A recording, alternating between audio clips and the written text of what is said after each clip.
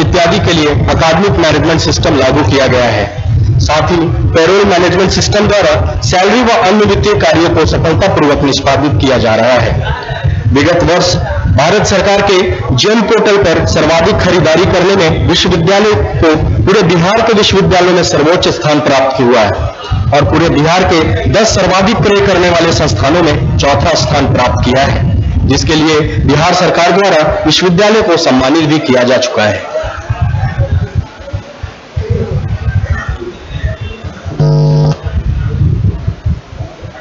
आप सभी से अनुरोध है, कृपया अपना स्थान ग्रहण कर लें।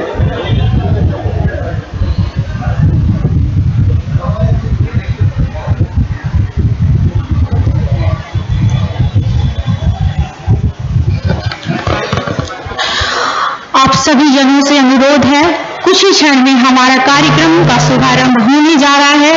हमारे माननीय कृषि पशु एवं मत्स्य संसाधन विभाग मंत्री श्री प्रेम कुमार जी के कर कमलों के द्वारा उनके आगमन तक आप सभी शांति बनाए रखें और अपना स्थान ग्रहण कर लें। इस कार्यक्रम के दौरान आप सभी से निवेदन है कि कृपया अपने मोबाइल को साइलेंट मोड में रखें या बंद करके रखें। धन्यवाद।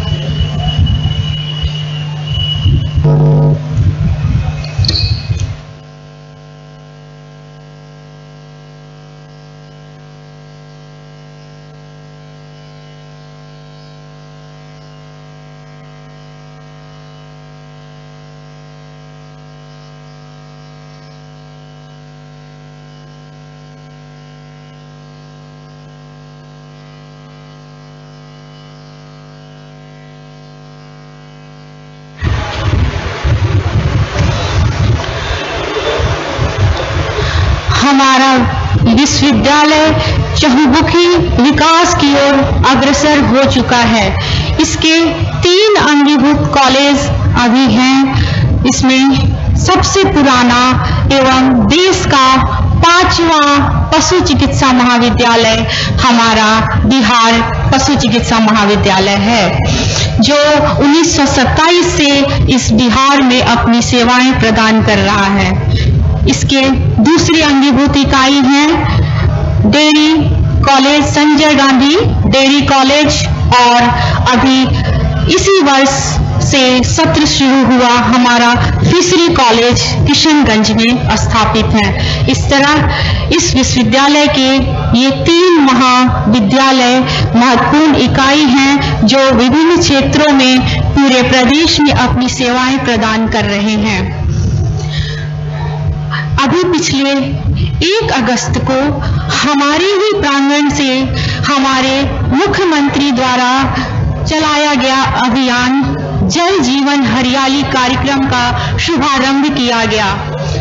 इसका शुभारंभ हमारे खेल मैदान विश्वविद्यालय के प्रांगण में वन विभाग और बिहार पशु विज्ञान विश्वविद्यालय के सहभागिता से आयोजित कार्यक्रम से किया गया विगत एक अगस्त को, जो हमारे मुख्य अतिथि माननीय मुख्यमंत्री श्री नीतीश कुमार जी के कर कमलों द्वारा किया गया और इसके अंतर्गत पूरे विश्वविद्यालय के प्रांगण में करीब एक हज़ार पौधों को लगाने का लक्ष्य रखा गया है। और यहाँ से शुरुआत करके ही पूरे बिहार में करीब 15 अगस्त तक विभिन्न प्रांगणों में हरियाली का कार्यक्रम आयोजन किया गया और उसके अंतर्गत जगह जगह पौधारोपण किया गया। अब कुछ ही समय में हमारे मुख्य अतिथि हमारे बीच होंगे और इस कार्यक्रम का शुभारंभ करेंगे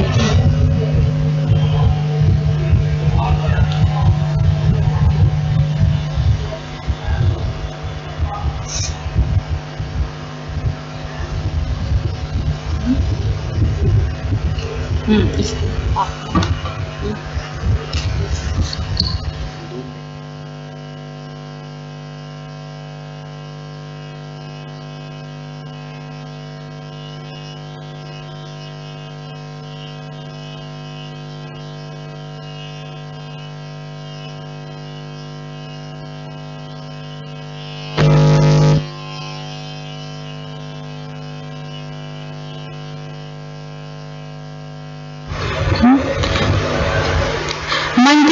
महोदय जी ने हमारे टीवीसीसी का भ्रमण कर लिया है और मंच की ओर आसीन होने के लिए वो अग्रसर हो चुके हैं और कुछ ही क्षण में हमारे बीच होंगे, हमारे मंच पर आसीन होंगे।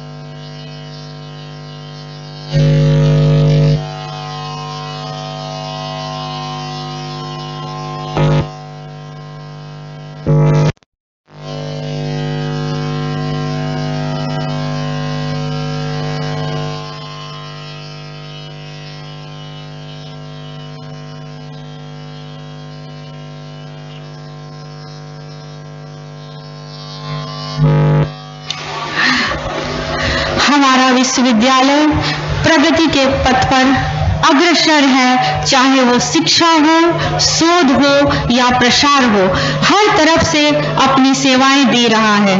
अभी विगत एक वर्षों में बहुत सारे देश के विभिन्न उच्च संस्थानों के साथ इसने एमओयू किया है। मेमोरेंडम ऑफ़ अंडरस्टैंडिंग जिसके तहत यहाँ के शिक्षक और छात्र का वहाँ से आदान प्रदान हो सकेगा और इस तरह शिक्षा, शोध और प्रसार के क्षेत्र में हम अपने, अब जो भी ज्ञान है उसका आदान प्रदान करेंगे और इसमें बढ़ोतरी करके अपने बिहार के विकास का लक्ष्य आगे बढ़ाएँगे।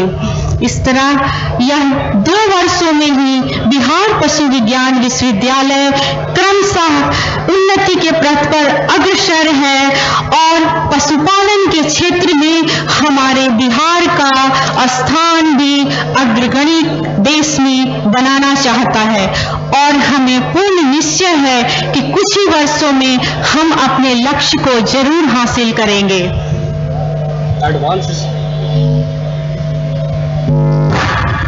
एडवांस स्टडी के लिए विश्वविद्यालय नवीन उपकरणों का इस्तेमाल कर रहा है, जिसके साथ ही यहाँ के छात्र छात्राओं को बेहतर पठन पाठन सामग्री और तकनीक के उपयोग का लाभ मिल रहा है।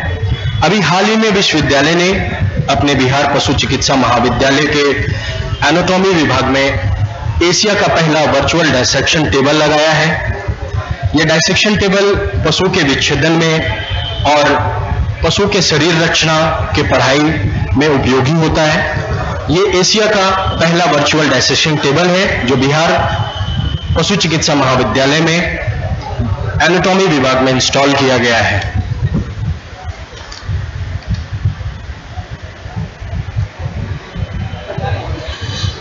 लाइब्रेरी भी हमारे कैंपस में नया बन के लगभग तैयार हो चुका है, जो कि विश्वविद्यालय का राष्ट्रीय लेवल का लाइब्रेरी होगा और इसमें हर तरह की सुविधाएँ उपलब्ध होंगी।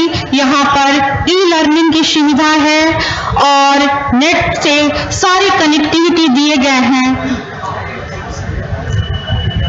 ताकि छात्र छात्राएँ यहाँ पठन पाठन में ज़्यादा से ज़्यादा उस लाइब्रेरी का उपयोग कर सके और उससे लाभान्वित हो सके। मंचासीन हो गया। मंचासीन होने के लिए बुला कहाँ मंत्री जी के नहीं आए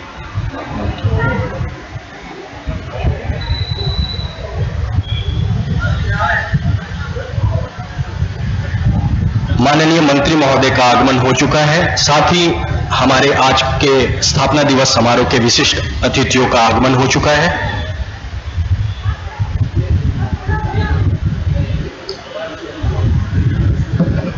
हमारे आज के मुख्य अतिथि कृषि संघ पशु एवं मत्स्य संसाधन विभाग मंत्री श्री प्रेम कुमार जी का आगमन हो चुका है। कुछ ही समय में हमारे मंच पर वो उपस्थित होंगे और इस कार्यक्रम का शुभारंभ करेंगे।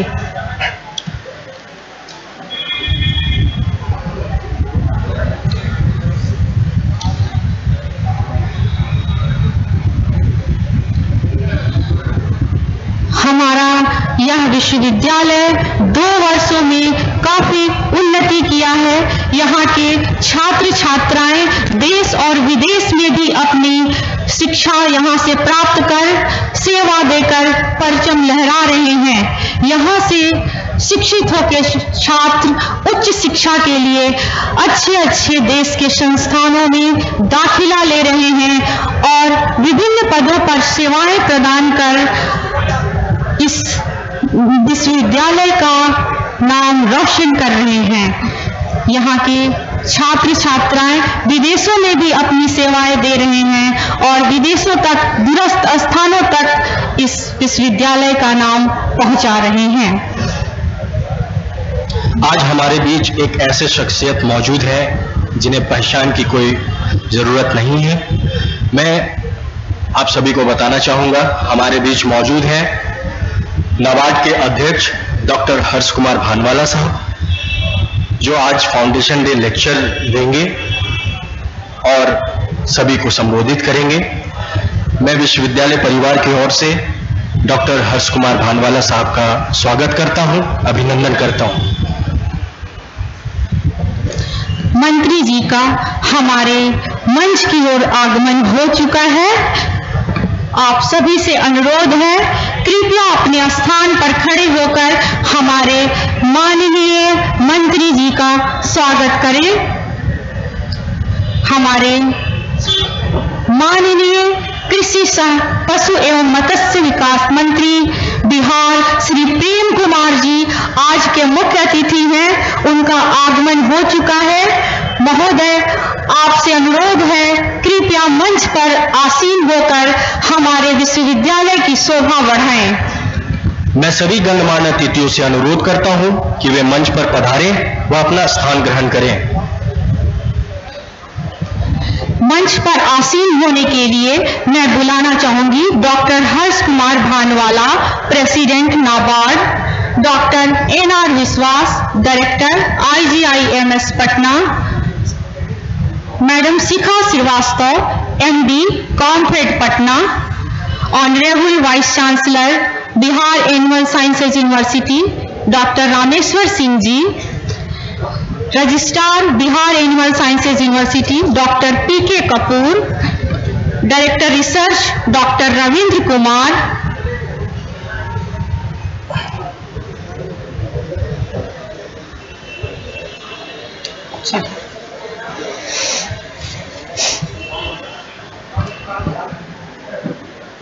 धन्यवाद महोदय। आप सभी का बिहार पशु विज्ञान विश्वविद्यालय के द्वितीय स्थापना दिवस समारोह के पावन अवसर पर हार्दिक अभिनंदन है। आदिकाल से ही हमारी भारतीय संस्कृति में शिक्षा का बड़ा महत्व रहा है। शिक्षा को अमृतत्व का साधन माना गया है, एवं यह मानव जीवन का एक महत्वपूर्ण अंग के समान है, और शिक्षा हमें पुस्तकों से मिलती है। कहते हैं, सूझे न जब कोई निदान, पुस्तक से मिले समाधान। पुस्तक देती हमको ज्ञान, जब होता मन परेशान। आइए हम अपने अतिथियों का स्वागत एक अनूठी परंपरा बुके और बुक्स के द्वारा करें। ये किताबें कुछ खास हैं एवं विश्वविद्यालय द्वारा संकलित एवं प्रकाशित हैं। ये पुस्तकों का गुच्छ है handbook for veterinarian poultry production booklet on activities and achievements of veterinary hospital इस विद्यालय का प्रथम newsletter university at a glance about directorate of research और activity and accomplishment of veterinary emergency response unit इन पुस्तकों के गुच्छ से मैं माननीय कुलपति महोदय डॉक्टर रामेश्वर सिंह जी से सादर निवेदन करना चाहूँगी कि आज के हमारे मुख्य अतिथि डॉक्टर प्रेम कुमार जी का स्वागत पुस्तक गुच्छ भेंट कर करें।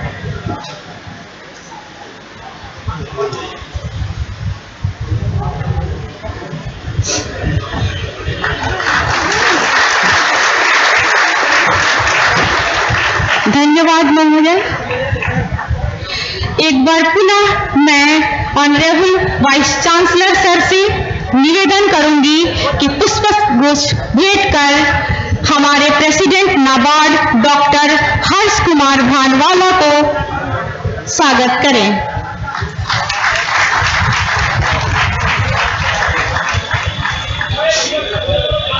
पुनः कुलपति महोदय से निवेदन। मैडम शिखा श्रीवास्तव एमडी कॉम्पेट पटना का पुस्तक गुच्छ भेंट कर स्वागत करें। पुनः निवेदन कुलपति महोदय से doctor N R Biswas, director IGIMS Patna का स्वागत, पुस्तक गुच्छ भेंट कर करें।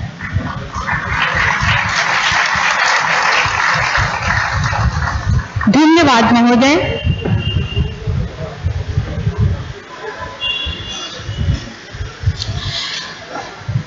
अब मैं इस विश्वविद्यालय की छात्रा कंचन से निवेदन करूँगी, हमारे कुलपति महोदय डॉक्टर रामेश्वर सिंह जी को पुस्तक गुच्छ भेंट कर उन्हें, उनका स्वागत करें।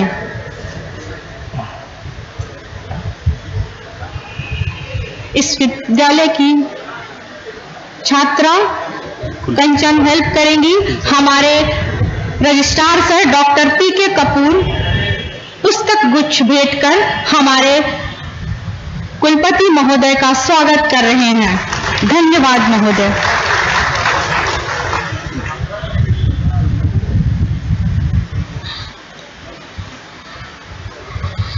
विश्वविद्यालय के छात्र चंदन से निवेदन करूँगी।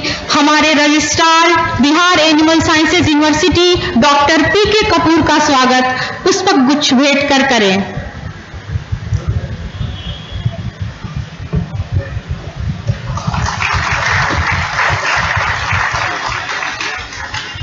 धन्यवाद।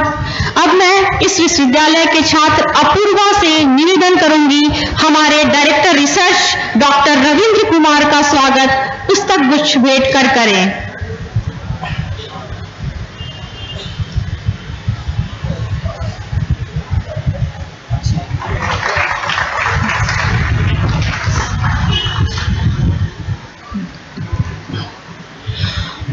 अब मैं मंच पर उपस्थित सभी अतिथियों से आग्रह करता हूँ कि वे दीप प्रज्वलित कर इस कार्यक्रम का विधिवत शुभारंभ करें।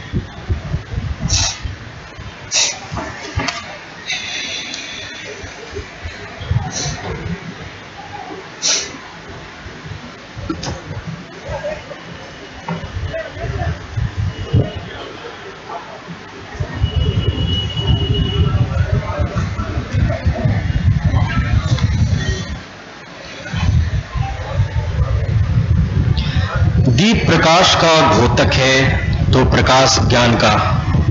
परमात्मा से हमें संपूर्ण ज्ञान मिले, इसलिए दीप प्रज्वलन करने की परंपरा है। जिस प्रकार दीप की ज्योति हमेशा ऊपर की ओर उठी रहती है, उसी प्रकार मानव की वृत्ति भी सदा ऊपर ही उठे, यही दीप प्रज्वलन का अर्थ है। दीपा ज्योति परम ब्रह्मा, दीपा ज्योति जनार्दना। शुभम करोतु कल्याणम। मारोग्यम सुखम संपदाम दुष्ट बुद्धि विनाशाय दीपो ज्योति नमोस्तुते।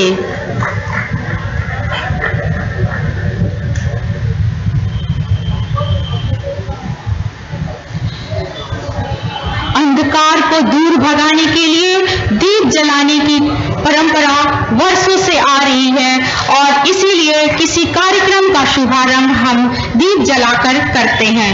आप सभी का धन्यवाद, महोदय। विद्या के मंदिर में अज्ञानता रूपी अंधकार को दूर करने वाली माँ सरस्वती को अगर याद ना करें तो कुछ हमारा कार्यक्रम अधूरा रहेगा। इसलिए मैं इस विश्वविद्यालय के छात्राओं से सरस्वती वंदना के लिए अनुरोध करूँगी। ऑन है? मैं कौन है? देख लीजिए। ठीक है। आइए।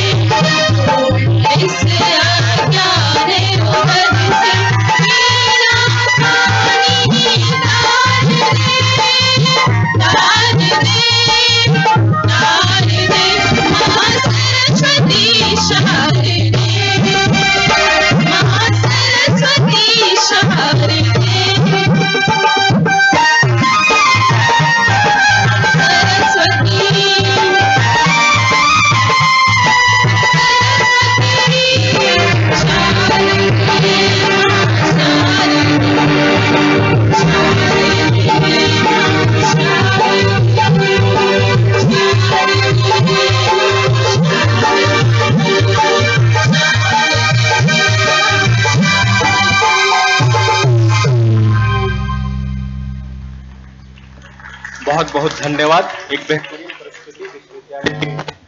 छात्राओं द्वारा। अब मैं हमारे माननीय कुलपति महोदय डॉक्टर रामेश्वर सिंह को स्वागत भाषण के लिए आमंत्रित करता हूँ। माननीय कुलपति महोदय से आग्रह है कि वे हमें संबोधित करें।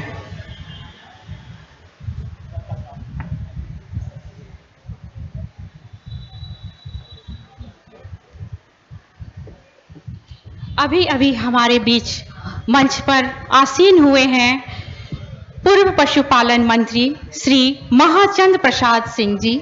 इनके स्वागत के लिए हम आतुर हैं। विश्वविद्यालय की छात्राओं से निवेदन करूँगी कि हमारे कुलपति महोदय के द्वारा पुस्तक गुच्छ भेंट कर मंत्री महोदय का स्वागत करें।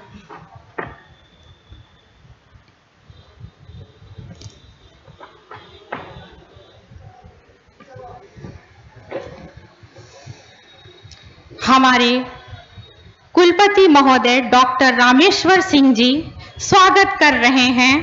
पूर्व पशुपालन मंत्री श्री महाचंद्र प्रसाद सिंह जी का कृपया तालियों के साथ इनका स्वागत करें।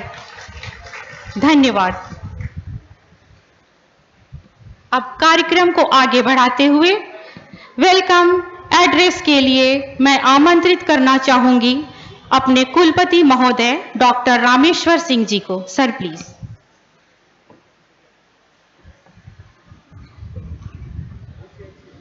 नमस्कार। हमारे स्थापना दिवस समारोह के अवसर पर मुख्य अतिथि माननीय कृषि, सह पशु एवं मत्स्य संसाधन मंत्री डॉक्टर प्रेम कुमार जी, स्थापना दिवस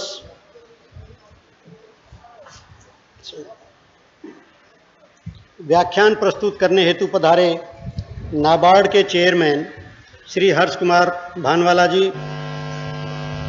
हमारे बीच आईजीआईएमएस के director doctor N R Biswas ji, पूर्व मंत्री doctor Mahachandra Prasad ji, madam Shikha Srivastava ji, registrar doctor P K Kapoor ji.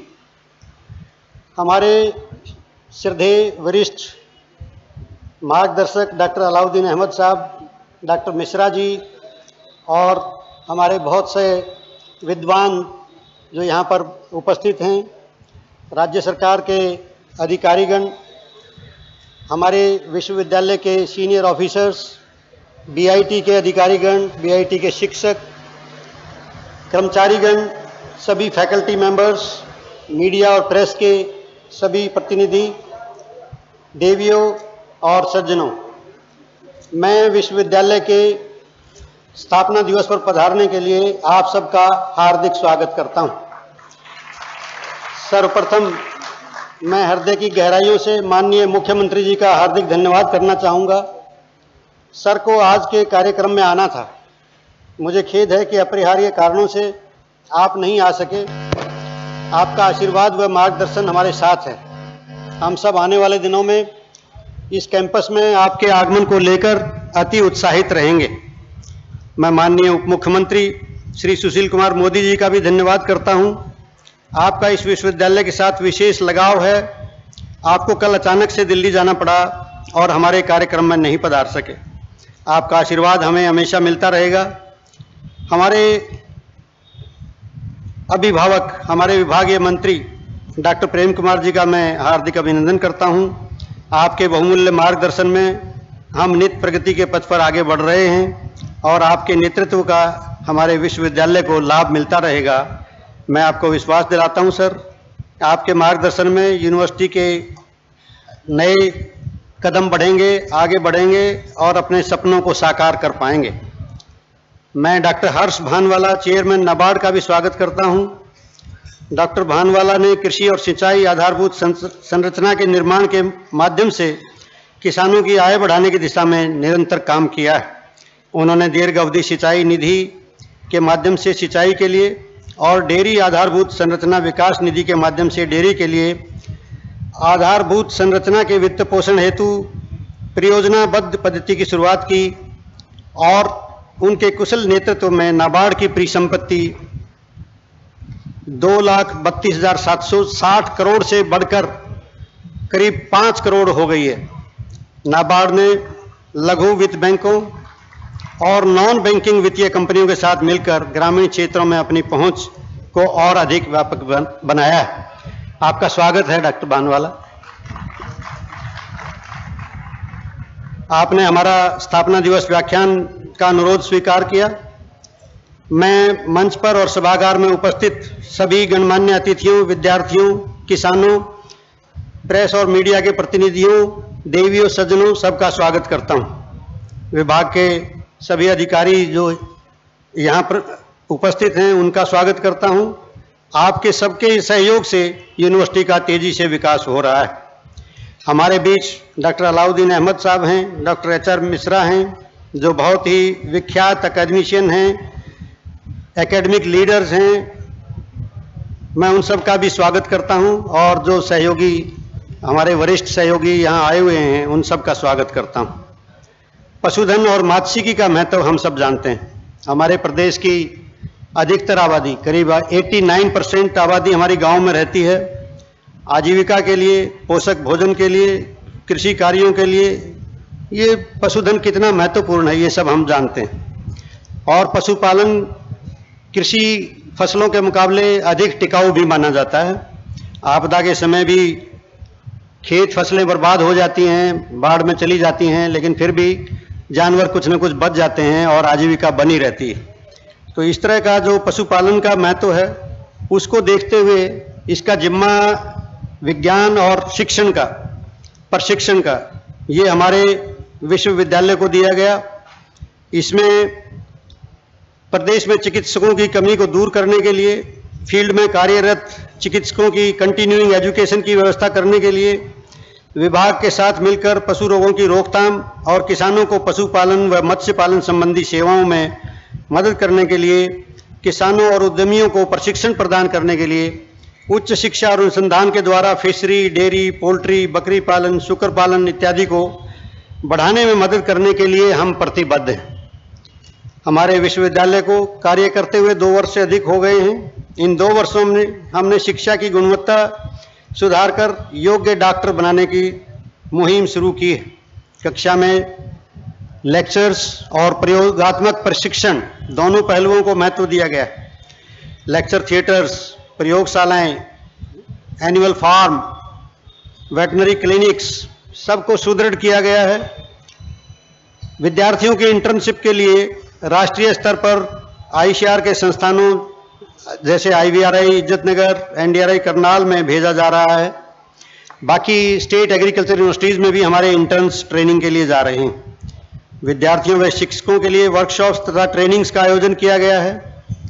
इसके अच्छे परिणाम भी मिलने लगे मैं शेयर करना चाहूँगा कि हमारे विद्यार्थियों ने इस वर्ष आईसीआर की परीक्षाओं में जेआरएफ जूनियर रिसर्च फेलोशिप और सीनियर रिसर्च फेलोशिप्स हासिल करके यहाँ की शिक्षा की गुणवत्ता का प्रमाण प्रस्तुत किया इसी क्रम में हमारे विद्यार्थियों को कैंपस इंटरव्यू के माध्यम से अच्छे उपक्रमों में प्लेसमेंट भी मिल रहा है। काफ़ी अच्छी प्लेसमेंट हमारी हुई है।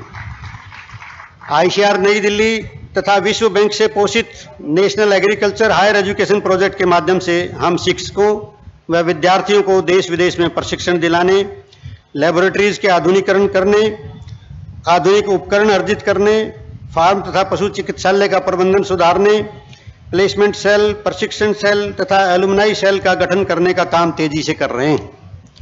हमारी अनुसंधान परियोजनाएँ भी तीव्र गति से आगे बढ़ रही हैं। भारत सरकार के गोकुल मिशन के माध्यम से 20 करोड़ लागत से भ्रूण प्रत्यारोपण परियोजना स्वीकृत हुई है। इस परियोजना के अंतर्गत अधिक दूध देने वाली देशी गायों के संरक्षण तथा संवर्धन का कार्य हमारे फार्म पर शुरू हो चुका है। इसमें हम साहिवाल, रेड चिंदी, बिहार स्टेट की बछौर और इसी क्षेत्र की गंगा तीरी गायों को इसमें सम्मिलित किया गया है। राष्ट्रीय कृषि विकास योजना, आईसीआर का national agriculture science fund, department of biotechnology, department of science and technology और दूसरी फंडिंग एजेंसीज के माध्यम से बहुत सी नई परियोजनाएँ हाल ही में स्वीकृत की गई हैं। आईसीआर का पोल्ट्री सीड प्रोजेक्ट हमारे पास है, जो all India coordinated research projects की श्रेणी में आता है और इस श्रेणी में सबका मूल्यांकन किया जाता है। मुझे खुशी है ये बताते हुए कि इसमें हम पूरे आईसीआर के प्रोजेक्ट की जितनी यूनिट हैं, उसमें प्रथम स्थान पर रहे। और पिछले वर्ष हमने ग्राम प्रिया तथा वन राजा के अस्सी हज़ार से भी अधिक मल्टी, मल्टीपर्पज पोल्ट्री बर्ड्स के चूजे किसानों को वितरित किए हैं और फुट एंड माउथ डिज़ीज़ के all India coordinated research project में भी हम काफ़ी अच्छा काम कर रहे हैं। आईसीआर के द्वारा एनएएचईपी प्रोजेक्ट और एफएमडी प्रोजेक्ट दोनों की सराहना की गई। पटना के बाहर हम नए केंद्र शुरू करने जा रहे हैं। गोपालगंज सिपाया में पशु विज्ञान केंद्र तथा भैंस प्रजनन प्रक्षेत्र विकसित करने का प्रस्ताव है। टेकना गया टेकना फार्म गया में सुकर पालन और बकरी पालन इकाई तथा विभिन्न एग्रो क्लाइमेटिक जोन्स में पशु विज्ञान केंद्रों की स्थापना का प्रस्ताव। केंद्रीय कुकुट प्रक्षेत्र पटना तथा पशु उत्पादन एवं स्वास्थ्य संगठन संस्थान पटना को भी बिहार पशु विज्ञान विश्वविद्यालय के तहत अंतरित किया जाना है। आपको ये बताते हुए मुझे प्रसन्नता हो रही है कि हमारा विश्वविद्यालय का नए परिसर का निर्माण कार्य हम प्रारंभ करने वाले हैं। परिसर का प्रोजेक्ट प्रपोजल तैयार हो गया है, जिसके तहत नया परिसर, एक ग्रीन सर्टिफाइड परिसर होगा। बड़े ही हर्ष के साथ बता रहा हूँ कि इसी वर्ष महामहिम राज्यपाल महोदय द्वारा अक्टूबर माह में प्रथम दीक्षांत समारोह आयोजन करने का स्वीकृति भी दी गई है। तो ये भी हम इस वर्ष कर लेंगे।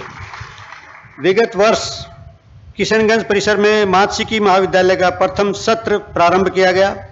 यहाँ पर फ़िश फार्म, हैचरी व प्रयोगशालाओं का विकास किया जा रहा है। मैं सरकार के प्रति आभार प्रकट करना चाहता हूँ कि मार्च 2019 से कृषि विज्ञान केंद्र जमुई हमारे विश्वविद्यालय का अंग बन गया है। इसके लिए हम भारतीय कृषि अनुसंधान परिषद के भी आभारी हैं। कृषि विज्ञान केंद्र के माध्यम से हम किसानों से सीधे तौर पर जुड़कर अपने प्रसार कार्यों को आगे बढ़ा सकेंगे। जम्मू से किसान भाई बहन आज के कार्यक्रम में शामिल हैं। मैं उनका विशेष स्वागत करता हूँ, अभिनंदन करता हूँ। अगले वर्ष से किशनगंज कैंपस में प्रदेश के दूसरे पशु चिकित्सा महाविद्यालय की स्थापना का प्रस्ताव सरकार के विचाराधीन है। नए पशु चिकित्सा महाविद्यालय के बनने से प्रदेश में पशु चिकित्सकों की आ रही कमी को हम दूर कर पाएँगे तथा प्रदेश के पशुपालकों को बेहतर सेवाएँ मिल सकेंगी। विश्वविद्यालय के प्रबंधन में ई गवर्नेंस के क्षेत्र में आशातीत प्रगति की जा रही है। 50 एमबीपीएस की इंटरनेट कनेक्टिविटी का कार्य नेशनल नॉलेज नेटवर्क के माध्यम से पूरा किया गया है और गीगाबिट कनेक्टिविटी का लोकल एरिया नेटवर्क का ऑर्डर प्लेस कर दिया गया है। ये भी काम शुरू होने वाला है। एनआईसी नेशनल इंफॉर्मेटिक्स सेंटर के माध्यम से चाणक्य सॉफ्टवेयर इंप्लीमेंट करके एकेडमिक ऑटोमेशन लागू कर दिया गया है और प्रक्योरमेंट में सरकार का गवर्नमेंट ई पोर्टल है जिसको जैम कहते हैं जिसमें पारदर्शिता के साथ खरीदारी की जा सकती है, उस पर काम करने में, उत्कृष्ट कार्य के लिए सभी प्रदेश के विश्वविद्यालयों में प्रथम स्थान प्राप्त करके हमें पुरस्कृत किया गया बिहार प्रदेश की सभी विभागों को में हमारा चौथा स्थान है और यूनिवर्सिटीज़ में हमारा पहला स्थान है। इसके लिए वित्त विभाग से ये पुरस्कृत पुरस्कृत किया गया है। अगले वर्ष में मुझे उम्मीद है कि हम ई ऑफ़िस का भी पूरी तरह से इम्प्लीमेंटेशन कर देंगे। इसके लिए हम एनआईसी के संपर्क में हैं। हम सब सतत प्रयास करके अपने परिसर को हरा भरा स्वच्छ तथा सुंदर बना रहे हैं। सौर ऊर्जा से बिजली उत्पन्न करने के लिए 310 किलोवाट कैपेसिटी के रूफटॉप पैनल सभी भवनों पर लग चुके हैं और पिछले कई महीने से काम कर रहे हैं। आने वाले नए दो भवन हमारे तैयार हो गए हैं। इनमें भी दो किलोवाट कैपेसिटी का प्लांट लगाने के लिए हमने ब्रेडा को प्रस्ताव भेजा था, जिसे स्वीकृत कर लिया गया। हम देश विदेश के संस्थानों के साथ पारस्परिक संबंध विकसित कर रहे हैं। वन्य जीवों पर अनुसंधान करने हेतु पटना जू के साथ समझौता ज्ञापन किया गया है। आज के युग में वन्य जीवों का अध्ययन बहुत ही महत्वपूर्ण है। आपको ये जानकर भी प्रसन्नता होगी कि हम वन्य प्राणी फॉरेंसिक प्रयोगशाला व स्वास्थ्य केंद्र की स्थापना वन विभाग के माध्यम से करने जा रहे हैं। ये अपने आप में एक अनूठी पहल होगी जो बहुत कम वेटनरी यूनिवर्सिटीज़ के पास है। इसके लिए मैं वन विभाग का आभारी हूँ। उन्होंने खुद से ये ऑफ़र हमें दिया है। Wildlife institute of India और ऑक्सफोर्ड यूनिवर्सिटी के माध्यम से हमारे 10 वैज्ञानिकों को प्रशिक्षण दिया जाएगा और जनवरी में हमारा पहला बैच इस साल चला जाएगा इस प्रशिक्षण के लिए। हमारे विद्यार्थी अंतर विश्वविद्यालय कार्यक्रमों में बढ़ चढ़कर भाग ले रहे हैं। बिहार वेटनरी कॉलेज की बैडमिंटन की टीम ने पंतनगर यूनिवर्सिटी में आयोजित सभी वेटनरी कॉलेजेस के मुकाबले में महिला बैडमिंटन चैंपियनशिप जीत कर आए। मैं सभी बच्चों को बधाई देता हूँ। इसके अतिरिक्त और भी गतिविधियों के अच्छे परिणाम हमारी टीमों को मिले हैं। चाहे कल्चरल एक्टिविटीज़ हों, चाहे एकेडमिक एक्टिविटीज़ हों, विद्यार्थी हमारा नाम सब जगह रोशन कर रहे हैं। मैं आशा करता हूँ कि आने वाले वर्षों में हमारे विद्यार्थी और अधिक सफलता प्राप्त करके दिखाएँगे। मुझे पूर्ण विश्वास है कि आप सबके सहयोग से हम अगले वर्ष में प्रदेश के किसानों, विद्यार्थियों तथा नीति निर्माताओं की अपेक्षा के अनुरूप चहुमुखी प्रगति प्राप्त कर सकेंगे। इस अवसर पर यह विश्वास दिलाना चाहता हूँ कि यह विश्वविद्यालय राज्य एवं सरकार की सभी अपेक्षाओं को पूर्णतः खरा उतरेगा और आने वाले समय में एक अग्रणी विश्वविद्यालय के रूप में उभर कर सामने आएगा। सभी उपलब्धियों के लिए मैं कर्मचारियों, विद्यार्थियों, शिक्षकों और वरीय अधिकारियों को उनके अथक सहयोग के लिए, प्रयास के लिए साधुवाद देता हूँ और उनका धन्यवाद करता हूँ। अंत में मैं एक बार पुनः माननीय मंत्री जी, चेयरमैन नवार्ड, डॉक्टर विश्वास मंत्री जी, हमारे शिखा श्रीवास्तव जी और सभी गणमान्य अतिथिगण जो सामने सभागार में बैठे हुए हैं, उनका हार्दिक स्वागत एवं आभार प्रकट करते हुए अपना स्थान ग्रहण करता हूँ। जय हिंद, धन्यवाद।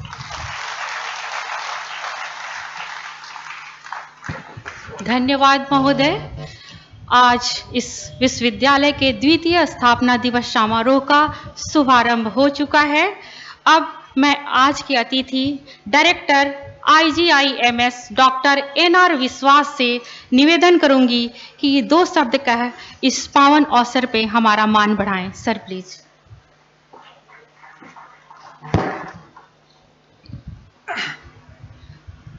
doctor Prem Kumar Sir, Honorable Minister, Fisheries, Animal and Fisheries uh, Department, Government of Bihar, and ex-minister also here present, Sri Mahajan Pratap Singh, Dr. Harsh Kumar Barnala, President NABARD, Vice Chancellor Dr. Rameshwar Singh, Registrar Dr. Kapoor, Director Research uh, Dr. Ravindra Kumar, Madam Shikha Srivastav, and all dignitaries present here. It's a proud moment for the institute because they are organizing here second of this type of uh, in the, uh, of the function of the institute, and I am very thankful for calling me here. As I was listening to Dr. Rameshwar Singh, the institute is going from national to international level. So many scientists they are attending, and that should be the institute of national importance. And uh, he has given a lot of interest to the research, and that is important because, like medical science, veterinary science is also dynamic subjects. New new diseases are coming to the cattle, and there are some zoonotic disease also. It's not only animal disease. From the animal also, because we are neighbors, our medical institute is just across the road. And a lot of cattle, uh, they're suffering with, and from the cattle and others, the disease are transmitted to humans. So, so that should be a combined research activity between the veterinary scientist and medical scientist.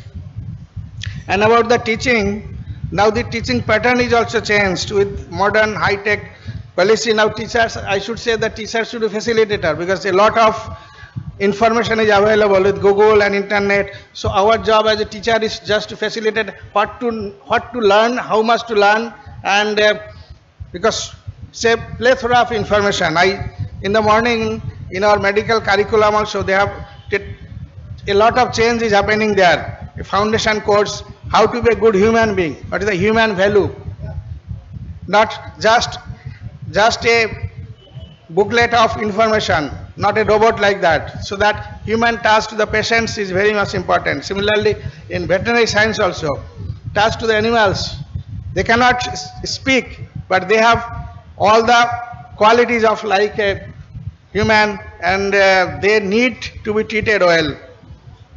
हमारा वहाँ पहले बहुत सारा घास था I have seen when I it's my six year in IGMS a lot of गाय भैंस जाता था मैंने बोला चलो इनको खाना अच्छा घास मिल रहा है बट अनफॉर्चुनेटली वो धीरे धीरे कम हो रहा है।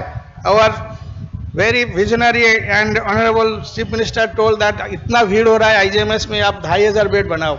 और इसके लिए जितना भी खाली स्पेस था, जहाँ घास वगैरह होता था आप वो कंस्ट्रक्शन शुरू हो गया।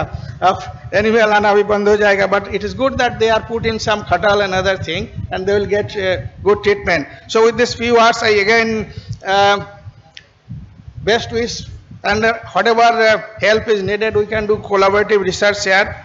Like we had we have a challenge. You, you know what happened in muzaffarpur that acute uh, encephalitiss syndrome still the root cause is yet to know. So we have to we have to find recently uh, chief minister sir called me and with so, so many other scientists and they told that we have to find the root cause.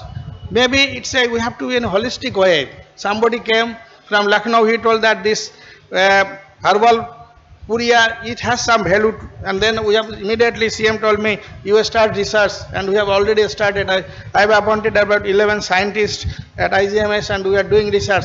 Somehow we have to find some root cause. And as this institute is growing why not? It should be the best institute in the country. And where there is a will there is a way. We can find like whatever we are developing in igms and i wish this institute also be developed like the best institute in the country again i uh, thank you for calling me thank you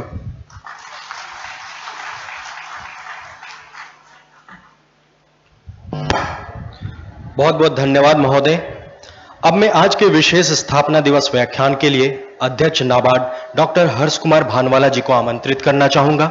doctor Harsh Kumar Bhanwala वर्ष 2013 से राष्ट्रीय कृषि और ग्रामीण विकास bank NABARD के अध्यक्ष हैं। आप आईआईएम अहमदाबाद से मैनेजमेंट में पोस्ट ग्रेजुएट हैं और प्रबंधन में डॉक्टरेट है। आपके मार्गदर्शन में नाबार्ड ने all India rural financial inclusion survey N F I S दो की कल्पना, डिज़ाइन और संचालन किया है, जो देश में अपनी तरह का पहला सर्वेक्षण था, जिसमें वित्तीय समावेशन से जुड़े सभी पहलुओं को व्यापक रूप से शामिल किया गया है। आपके व्यापक अनुभव और योगदान के लिए डॉक्टरेट ऑफ़ साइंस की मानद उपाधि से सम्मानित किया गया।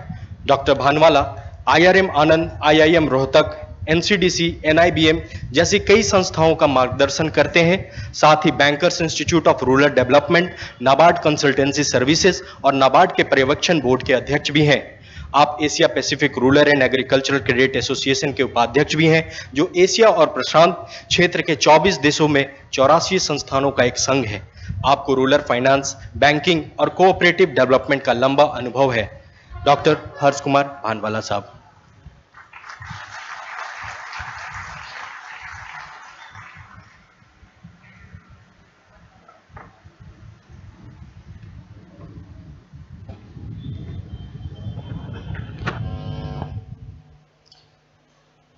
नमस्कार सब आपको, सबसे पहले। मंच पर विराजमान डॉक्टर प्रेम कुमार जी, मंत्री animal sciences, doctor Rameshwar Singh ji, doctor Biswas OMFED की मैनेजिंग डायरेक्टर, रजिस्ट्रार यूनिवर्सिटी के former minister, animal resources Bihar university के staff students former office bearers and my colleagues from NABARD और मंचासीन बाकी लोग जो उपस्थित हैं, और किसान जो बिहार के अलग अलग जगह से आए सबसे पहले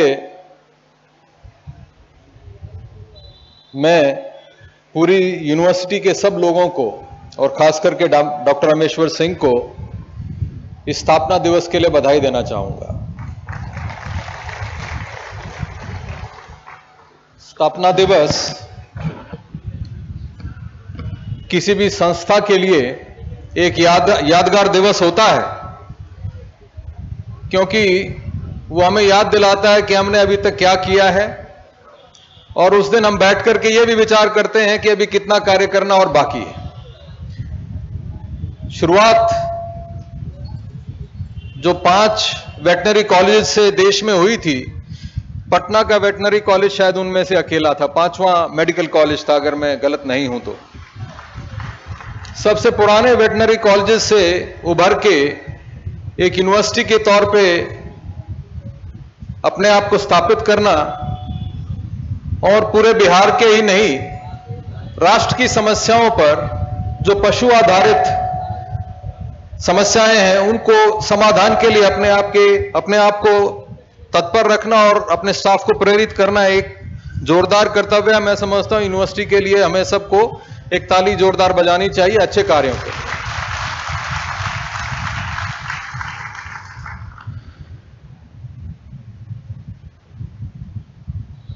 अगर आप पूरे विश्व में जो एग्रीकल्चर जीडीपी अर्जित की जाती है उसका मूल्यांकन करें तो उसमें से करीब 40 प्रतिशत जीडीपी ऐसी है जो एनिमल रिसोर्सेज से आती है। तो वर्ल्ड ओवर हम सबको ज्ञात है कि एनिमल रिसोर्सेज का कृषि के अंदर एक अत्यंत ही महत्वपूर्ण स्थान है और हमेशा बना रहेगा। यह सिर्फ़ 40 प्रतिशत कॉन्ट्रीब्यूशन से ही रेखांकित नहीं होता है। यह इस बात पर भी निर्भर करता है कि एनिमल रिसोर्सेज को पनपाने में और आगे ले जाने में बड़ा जेंडर सुधार भी होता है। अगर आप एम्प्लॉयमेंट देखेंगे, जो एनिमल रिसोर्सेज को पालने में उपयोग की जाती है तो उसमें महिलाओं का जोरदार स्थान है, हमारे देश के अंदर तो यह सिर्फ़ मूल्यांकन इसका इस चीज़ से नहीं होना चाहिए कि 40 प्रतिशत शेयर है। लेकिन इस चीज़ से होना चाहिए कि उस आबादी के द्वारा है जो अदरवाइज़ जीडीपी की कंट्रीब्यूशन में जिसका बहुत ज़्यादा योगदान गिना नहीं जाता। घर में इतना कार्य करती हैं, उसकी कोई वैल्यूएशन नहीं है जीडीपी के अंदर। लेकिन इसमें वैल्यूएशन दूध के उत्पादन से मीट प्रोडक्शन के उत्पादन से एग्स के प्रोडक्शन से, उन सबसे उनके कार्य की कंट्रीब्यूशन जीडीपी के अंदर सीधे तौर पर आती है। आज अगर आप देखें तो तीस हज़ार करोड़ से ज़्यादा का एनिमल सेक्टर से पूरा एक्सपोर्ट इंडिया के द्वारा भारत किया जाता है। काफ़ी अच्छा शेयर है, करीब 20 प्रतिशत शेयर है हमारा एग्रीकल्चर एक्सपोर्ट्स का, पूरे एक्सपोर्ट्स के अंदर। और उसमें भी अगर आप देखें तो ऊपर की जो चार कैटेगरीज हैं, जिनका मेजर कंट्रीब्यूशन होता है, उसके अंदर मीट प्रोडक्शन और एनिमल प्रोडक्शन संबंधित चीज़ें आती हैं फिशरीज प्रोडक्शन एक्वाकल्चर दो चीज़ें खूब खास करके आगे हैं। चावल छोड़ दीजिए और चाय छोड़ दीजिए, इनके अलावा मीट और एनिमल प्रोडक्शन से संबंधित चीज़ें ही, दूध प्रोडक्शन से चीज़ें ही सामने आती हैं।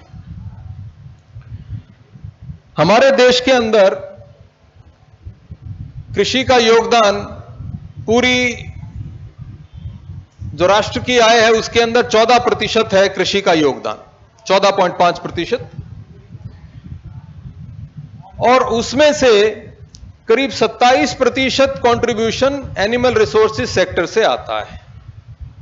तो करीब करीब एक तिहाई कृषि उत्पादन एनिमल रिसोर्सिस सेक्टर से आता है। तो ऐसी परिस्थिति में हम जब भी किसानों की आय बढ़ाने की बात करते हैं या फार्मर्स हाउस होल्ड की आय बढ़ाने की बात करते हैं तो ज़्यादातर हम क्रॉप्स के ऊपर फोकस करते हैं और एनिमल रिसोर्सिस को सेकेंडरी स्थान देने का हमारा मन बना रहता है हर समय। जिस सेक्टर से 30 प्रतिशत ग्रोथ आती हो, जिस 30 प्रतिशत कॉन्ट्रीब्यूशन आता हो एग्रीकल्चर इनकम का। जिस प्रतिशत से लार्जेस्ट एम्प्लॉयमेंट मिलती हो, कृषि के अंदर, जिस सेक्टर से महिलाओं को खास करके जुड़ाव होता है, और जिसकी ग्रोथ क्रॉप प्रोडक्शन से करीब दुगनी हो, ऐसे सेक्टर को विकसित करना अगर बिहार की सरकार का मुख्य उद्देश्य बन जाता है तो कोई गलत बात नहीं है।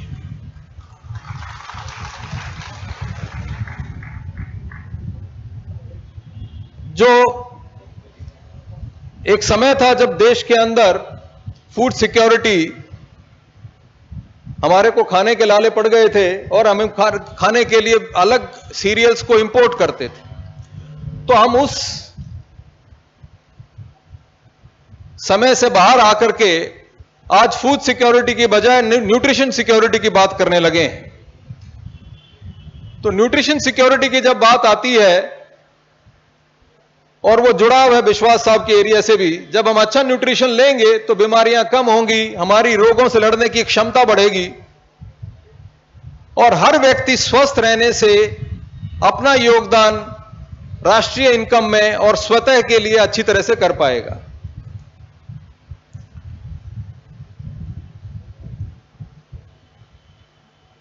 तो ये जो न्यूट्रिशन सिक्योरिटी की बात होती है, इसके अंदर एनिमल रिसोर्सेज का बहुत बड़ा योगदान है। जो अच्छे प्रोटीन सोर्सेज हैं, या तो मीट से आते हैं, अंडे से आते हैं, दूध से आते हैं, या मिल्क प्रोडक्ट्स के दूसरे जो बाई प्रोडक्ट से आते हैं। तो अभी भी अगर हमारे यूथ का पोटेंशियल अच्छी स्पोर्ट्स की संभावना में तब्दील करना है या अच्छे सेहतमंद वर्कफोर्स के लिए करना है तो उसके अंदर एनिमल सेक्टर का भरपूर योगदान रहेगा मैं समझता हूँ। संभावना एनिमल रिसोर्सेज में शुरू से रही है। एक समय था जब हम आज़ाद हुए थे तो 100 ग्राम से कम का दूध मिलता था पर व्यक्ति के लिए। और आज हम 350 ग्राम दूध हर व्यक्ति के लिए पैदा कर पाते हैं। और आज विश्व के अंदर, हम मिल्क प्रोडक्शन के अंदर सबसे बड़ी ताकत के रूप में उभर के आए हैं। We are the largest producer of milk in the world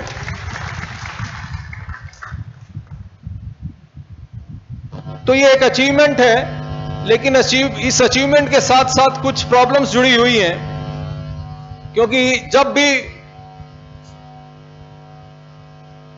main season आता है मिल्क प्रोडक्शन का सर्दियों के अंदर तो किसानों की एक समस्या आती है। काफ़ी किसान अपनी दूध को सड़कों के ऊपर फेंकते नज़र आते हैं कई स्टेट्स के अंदर। यह दिखाता है कि कहीं ना कहीं जो उसकी लागत है दूध को पैदावार करने के लिए और जो उसको रिटर्न्स मिल रहे हैं, वो शायद कहीं उसके अंदर मिसमैच है। तो जहाँ हमने इतनी पैदावार की दूध की हमें ऐसी क्षमता भी पैदा करनी चाहिए कि सारा का सारा मिल्क प्रोड्यूस हो पाए, जो प्रोड्यूस होता है वो प्रोसेस हो पाए, और वो ऐसे समय के लिए भी हमारे पास रहे जब हमारा दूध की पैदावार कम होती।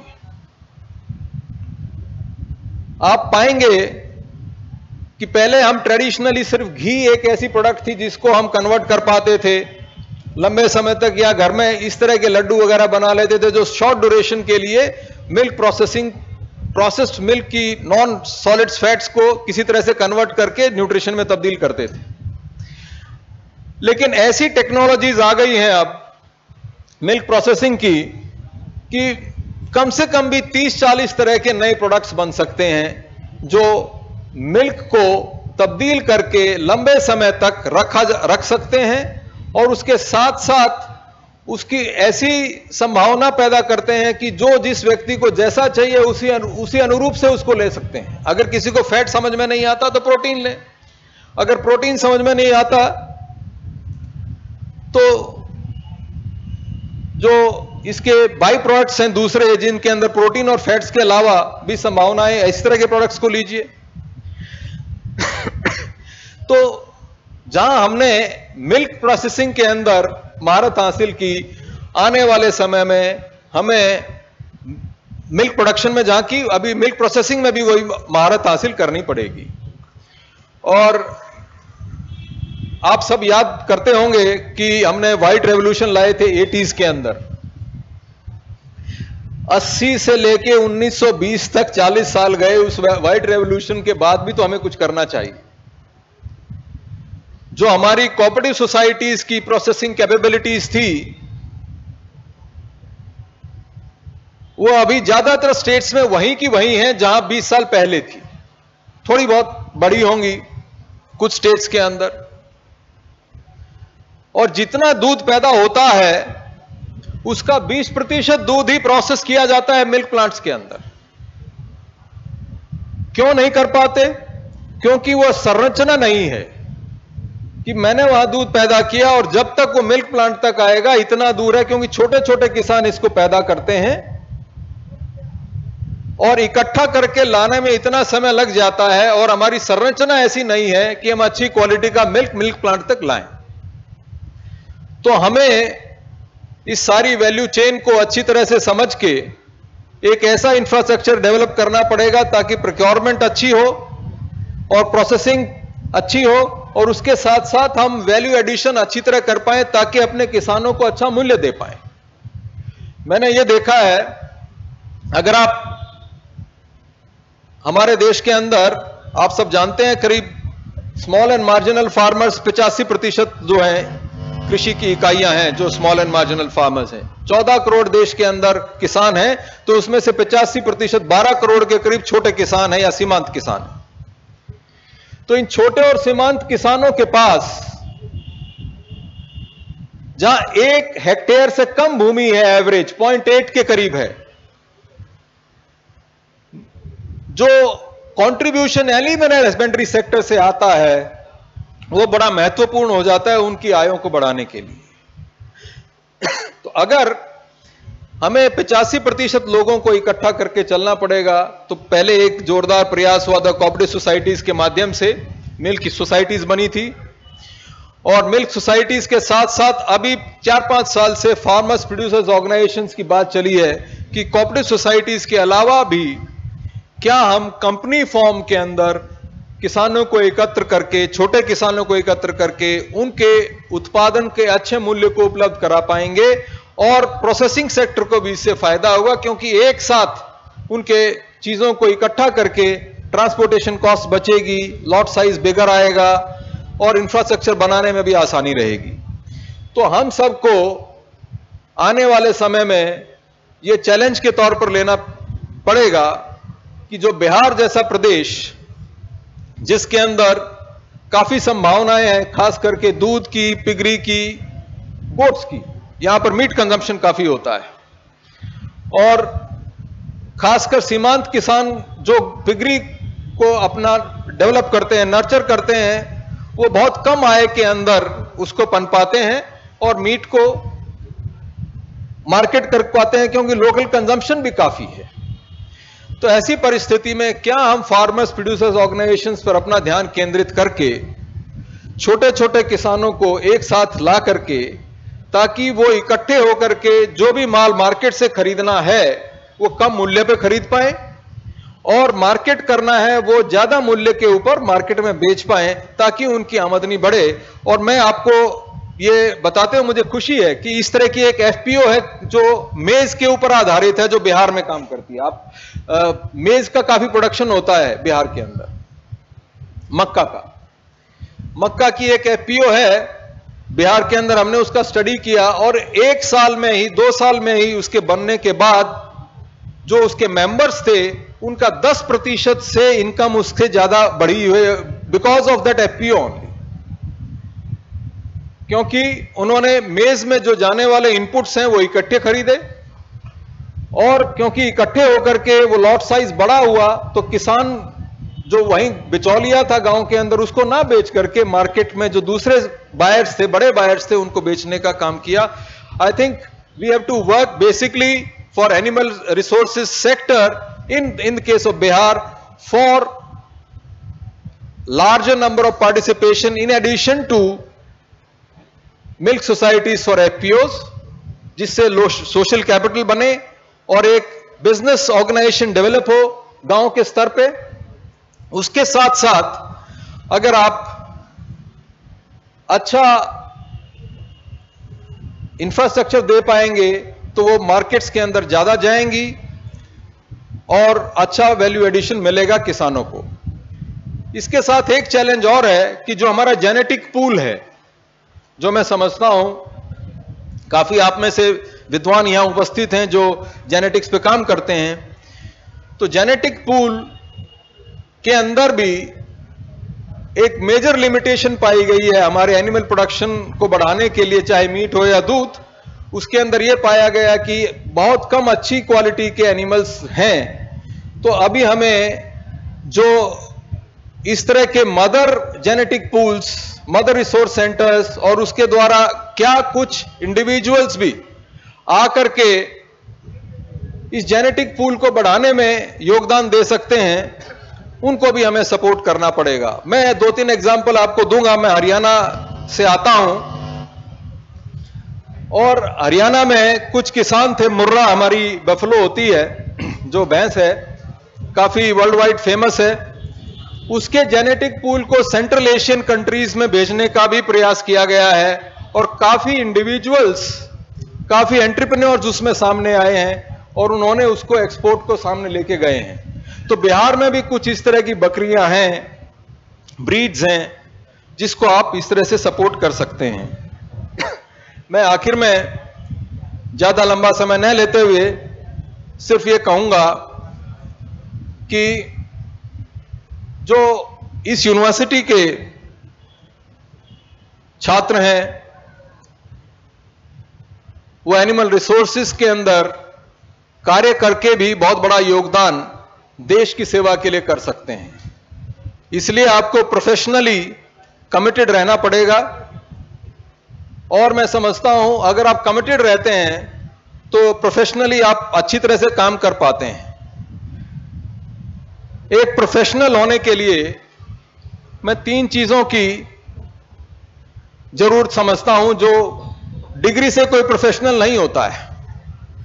अगर कोई प्रोफेशनल है तो मैं समझता हूँ तीन चीज़ें ज़रूरी हैं। एक तो वह स्वयं अपने लिए कुछ टारगेट हमेशा फिक्स करे कि मुझे कहाँ जाना है। दूसरा, उसकी तरफ़ जाने के लिए वो हमेशा प्रयासरत रहे। तीसरा, अगर वो प्रयासरत रहता है तो किसी एक्सटर्नल डिसिप्लिन या एक्सटर्नल अथॉरिटी के दर के कारण ना हो, अपने अंदर से स्वाभाविक वो मादा पैदा करे कि वह स्वयं डिसिप्लिन रहे और उसकी तरफ़ कार्य करे। अगर ये तीन चीज़ें हैं आपके अंदर तो आप एक प्रोफेशनल के तौर पे काम करेंगे और जो वेटनरी वाले लोग हैं डेयरी टेक्नोलॉजी वाले लोग हैं, वो भरपूर मादा रखते हैं। एक चीज़ मेरा जो परिचय दिया गया था, उसमें शायद, बताना भूल गए, मैं भी एक डेयरी टेक्नोलॉजिस्ट हूँ। आईएम अहमदाबाद में जाने से पहले और मुझे खुशी है कि मैं एक डेयरी टेक्नोलॉजिस्ट के तौर पे आया। लेकिन जैसे जैसे आप उभरते हैं तो आपको अपने प्रोफेशन तक ही नहीं रहना चाहिए, क्योंकि आपका प्रोफेशन काफ़ी और प्रोफेशन से जुड़ा हुआ है। तो एक लार्जर विजन लेने की क्षमता होनी चाहिए।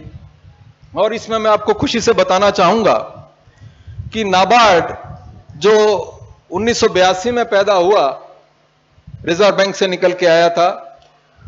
हमारी बैलेंस शीट उस समय 4,500 करोड़ की थी। और हमने अपने आप को ग्रामीण क्षेत्र में और कृषि के क्षेत्र में ही अपने आप को और जो रूरल इंडस्ट्रीज़ हैं ग्रामीण क्षेत्र में चाहे किसी तरह की संभावनाएँ हैं ग्रामीण क्षेत्र में उनके साथ जोड़े रखा है। एक डेवलपमेंट बैंक के तौर पे कार्य किया है। और इतनी संभावनाएँ हैं इस क्षेत्र में कि हम 4,500 करोड़ से उन्नीस सौ बयासी में आज 5 लाख करोड़ तक की बैलेंस शीट बना पाए। और मेरा विश्वास है कि अगर ऐसे चार पाँच नाबार्ड और आ जाएँ तो तब भी भारत की जो समस्याएँ हैं ग्रामीण क्षेत्र की फंड रिक्वायरमेंट्स वो पूरी नहीं होंगी। मैं खुद एक किसान के तौर पे कहता हूँ अभी काफ़ी किसान अभी ऐसे हैं जो ये कहते हैं मुझे बैंकों से पैसा नहीं मिलता है। या बैंकों से पैसा मिलने में कष्ट आता है, देरी होती है, विलंब होता है। लेकिन अगर आप अपने आप को एक लार्जर पर्सपेक्टिव में देखेंगे, जो हमने किया नाबार्ड की तरफ़ से, और हम काफ़ी और रिसर्च एंड डेवलपमेंट में काफ़ी यूनिवर्सिटीज के साथ भी मिलकर के कार्य करते हैं साथ साथ फाइनेंशियल मार्केट्स में, देखिए जिसके पैसे, जिसकी जेब में दम होता है, उसको सब याद करते हैं। मुझे इसमें कोई कहने में आप सब भी इस चीज़ को मानेंगे। तो संस्थाएँ ऐसी बनाइए जो फाइनेंशियली अच्छी तरह चलें। अगर फाइनेंशियली अच्छी तरह नहीं चलेंगी संस्थाएँ तो उनको सम्मान या सद्भाव उनके प्रति नहीं होता है। मुझे खुशी है कि आज पूरे भारत वर्ष में, चाहे वो एचडीएफसी बैंक हो, चाहे आर हो, चाहे पीएफसी हो चाहे एल का हाउसिंग फाइनेंस हो, अगर वो कैपिटल मार्केट के अंदर पैसा रेज करने जाता है, उन सबको नाबार्ड से महँगा पैसा मिलता है, हमने अपने आप को ऐसे स्थापित कर पाए रूरल क्षेत्र पे भी फोकस करके।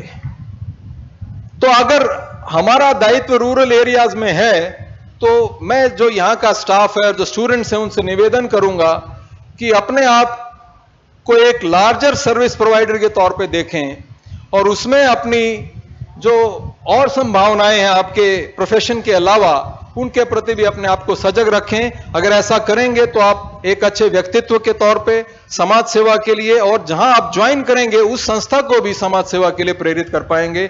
मैं आधार, आभार व्यक्त करता हूँ डॉक्टर रामेश्वर सिंह जी का कि उन्होंने मुझे मौका दिया और आपके सामने बातचीत करने का यह मुझे सौभाग्य प्राप्त हुआ। मैं आपका धन्यवाद करता हूँ। थैंक यू वेरी मच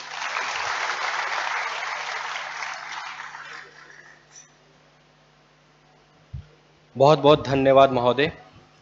कार्यक्रम को आगे बढ़ाते हुए हम विश्वविद्यालय के उन लोगों का सम्मान करेंगे, जिन्होंने अपने क्षेत्र में बेहतरीन कार्य किया है। दिए गए दायित्वों का निर्वहन कर इस विश्वविद्यालय का नाम ऊँचा किया है। मैं मंच पर उपस्थित मुख्य अतिथि महोदय व अन्य गणमान्य अतिथियों से आग्रह करूँगा कि वे उन्हें सम्मानित करें। सबसे पहले डॉक्टर संजना।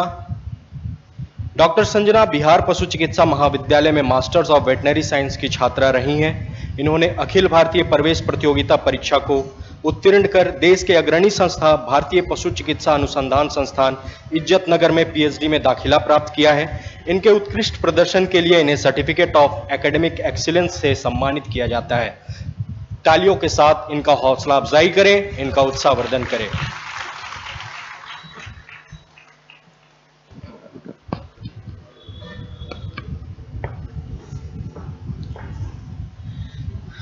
डॉक्टर संजना, जो यहाँ पे पीजी की छात्रा रह चुकी हैं, और अभी हाल में ही इन्होंने पीएचडी में दाखिला लिया है, आईवीआरआई बरेली में। धन्यवाद। दूसरी छात्रा है डॉक्टर आकृति अन्ना इन्होंने बीबीएससी में सर्वाधिक अंक हासिल कर बैच टॉपर रही और साथ ही इस वर्ष आईसीआर द्वारा आयोजित जेआरएफ की अखिल भारतीय परीक्षा में पूरे देश में 18वां स्थान हासिल कर हमारा मान बढ़ाया है। इनके द्वारा उत्कृष्ट प्रदर्शन के लिए इन्हें सर्टिफिकेट ऑफ़ एकेडमिक एक्सलेंस से सम्मानित किया जाता है। डॉक्टर श्रुति मिश्रा, बिहार पशु चिकित्सा महाविद्यालय में bachelors of veterinary science and animal husbandry की छात्रा छात्रा रही हैं। बीबीएससी के 2014 से 19 बैच में ये द्वितीय स्थान पर रही हैं। साथ ही आईसीआर द्वारा आयोजित जेआरएफ की अखिल भारतीय परीक्षा में पूरे देश में 19वां स्थान हासिल कर हमारा मान बढ़ाया है। इनके द्वारा उत्कृष्ट प्रदर्शन के लिए इन्हें सर्टिफिकेट ऑफ़ एकेडमिक एक्सीलेंस से सम्मानित किया जाता है।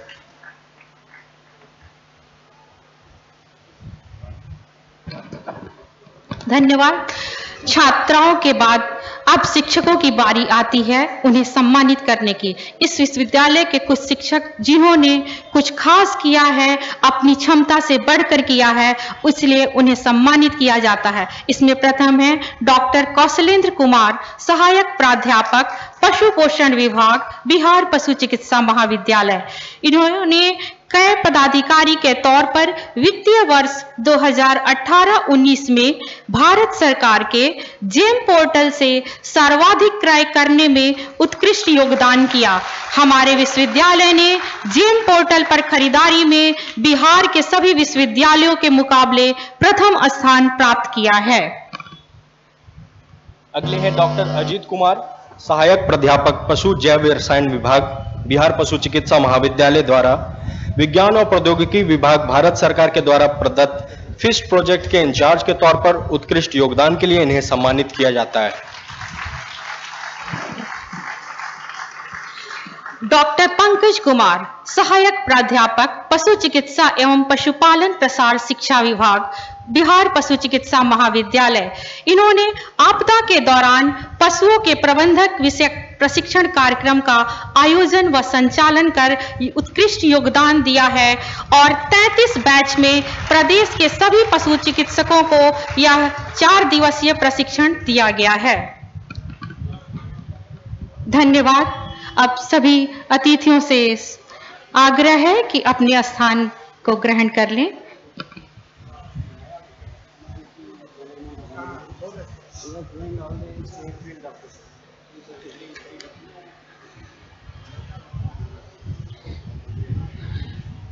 अब इस कार्यक्रम को आगे बढ़ाते हुए हमें अपने अतिथियों को की स्वागत करने की बारी है, जिन्होंने अपना बहुमूल्य समय निकालकर हमारे कार्यक्रम की शोभा बढ़ाई। इसके लिए मैं अपने कुलपति महोदय से सागरा निवेदन करूँगी कि आज के हमारे मुख्य अतिथि श्री प्रेम कुमार जी को स्मृति चिन्ह भेंट कर उनका सम्मान करें।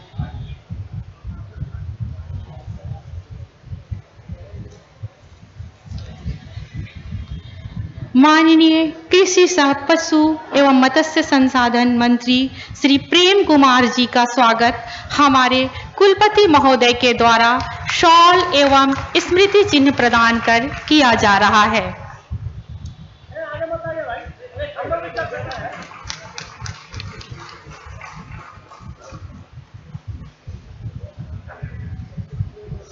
धन्यवाद महोदय। कुलपति महोदय से पुनः आग्रह है प्रेसिडेंट नाबार्ड, डॉक्टर हर्ष कुमार भानवाला को स्मृति चिन्ह एवं शॉल प्रदान कर उन्हें सम्मानित करें।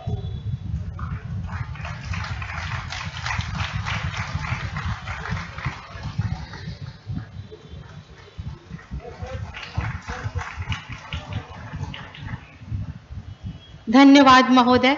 पुनः निवेदन कुलपति महोदय से। हमारे पूर्व पशुपालन मंत्री श्री रामचंद्र प्रसाद सिंह जी को स्मृति चिन्ह भेंट कर उन्हें सम्मानित करें।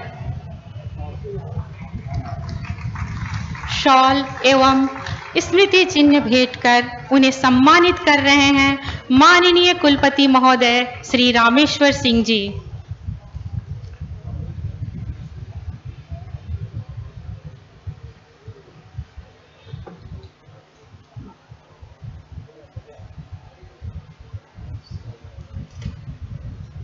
धन्यवाद महोदय। अब मैं अपने कुल सचिव, डॉक्टर पी के कुमार जी, कपूर जी से निवेदन करूँगी कि doctor N R Biswas, director IGIMS Patna को स्मृति चिन्ह एवं शॉल भेंट कर उन्हें सम्मानित करें।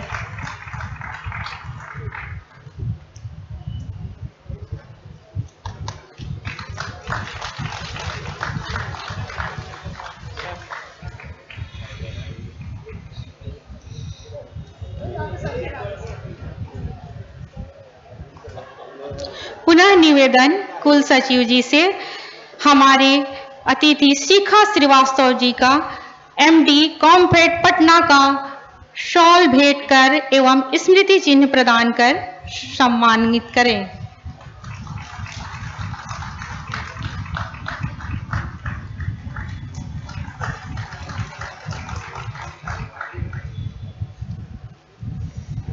धन्यवाद महोदय। अब मैं आज के मुख्य अतिथि डॉक्टर प्रेम कुमार जी से साग्रह निवेदन करूँगी कि कृपया अपने आशीर्वचनों से हमें अनुग्रहित करें। कृपया महोदय।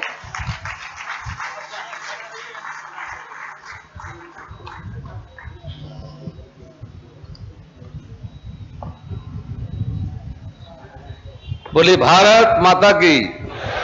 भारत माता की। जय जवान। जय जवान। बिहार पशु विज्ञान विश्वविद्यालय पटना का द्वितीय स्थापना दिवस के मौके पर मंच पर विराजमान विश्वविद्यालय के काफ़ी कर्मठ, लगनशील हमारे सम्मानित कुलपति श्री रामेश्वर सिंह जी, इस मौके पर बिहार के लोकप्रिय नेता और बिहार के रहे सरकार में माननीय मंत्री के रूप में अपना बेहतर योगदान देने वाले आदरणीय श्री महाचंद्र प्रसाद सिंह जी, इस मौके पर नवाड के सम्माननीय अध्यक्ष श्री हर्ष कुमार बानवाला जी आज के इस कार्यक्रम में इंदिरा गांधी आयुर्विज्ञान संस्थान के निदेशक डॉक्टर एन विश्वास जी, कॉम्फेट की एमडी और काफ़ी मेहनती और कॉम्फेट को आगे ले जाने का बेहतर प्रयास करने वाले एमडी, श्रीमती शिखा श्रीवास्तव जी बिहार पशु विज्ञान विश्वविद्यालय के निदेशक प्रसार डॉक्टर रविंद्र कुमार जी, बिहार पशु विज्ञान विश्वविद्यालय के registrar doctor P K Kapoor जी, इस मौके पर ए आर आई के क्षेत्रीय निदेशक डॉक्टर अरविंद कुमार जी, बामेती के हमारे निदेशक डॉक्टर जितेंद्र कुमार जी, पशुपालन विभाग के निदेशक गब Shri A K Jha ji chief forest conservator Shri S S Chaudhary ji, इस मौके पर विरसा विश्वविद्यालय रांची के पूर्व कुलपति doctor H R Mishra ji Sher Kashmir विश्वविद्यालय काश्मीर के पूर्व कुलपति डॉक्टर अलाउद्दीन अहमद साहब, इस मौके पर अन्य सभी वरिष्ठ पदाधिकारीगण, सभी हमारे वैज्ञानिकगण उपस्थित इस राज्य के अन्नदाता किसान भाइयों और बहनों, सभी हमारे इस विश्वविद्यालय के सभी छात्र छात्राएंगण इस मौके पर print media, social media, electronic media के सभी हमारे सम्माननीय प्रतिनिधिगण, मुझे अपार खुशी हो रही है कि कम समय में यह हमारा एनिमल साइंस विश्वविद्यालय काफ़ी तेज़ी से आगे बढ़ रहा है।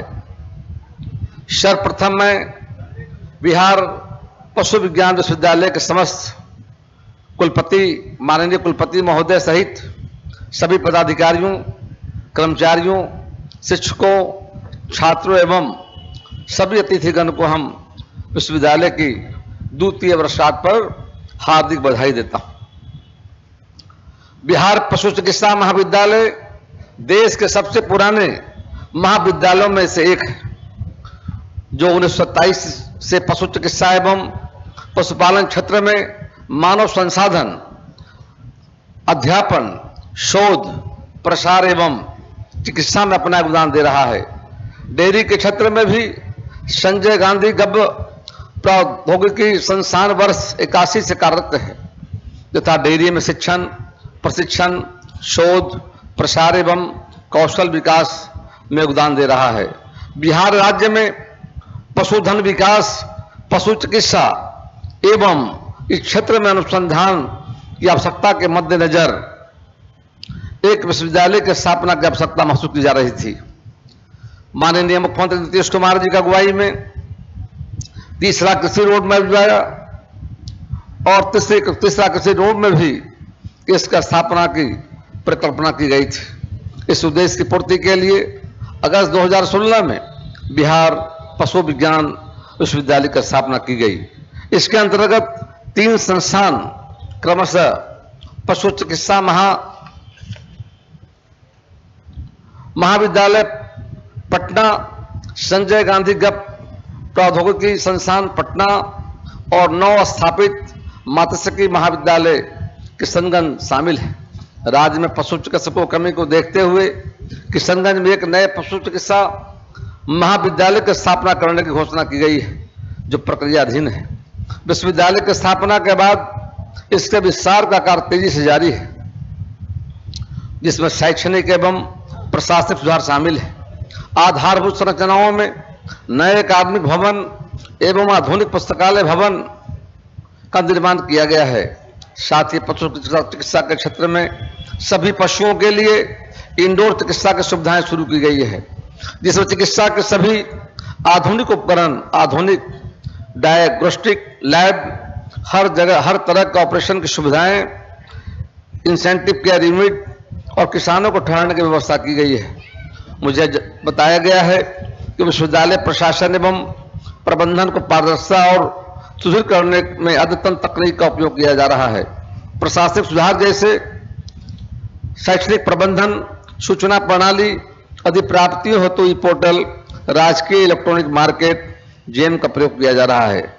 जिसके लिए वित्त विभाग, बिहार सरकार से प्रस्तुत भी किया गया है। साथ ही पूर्ण रूप से कंप्यूटरकृत वित्तीय प्रबंधन प्रणाली को लागू किया गया है। व्यापक शैक्षणिक सुधारों को लागू करते हुए एकादमिक कैलेंडर, प्रवेश प्रणाली, परीक्षा, संचालन, विश्वविद्यालय और छात्रावास नियमों का पूर्ण क्रियान्वयन कराया जा रहा है। और सारी परीक्षाएँ पूर्णतः कदाचार माहौल में कराकर समय नतीजे घोषित किए जा रहे हैं।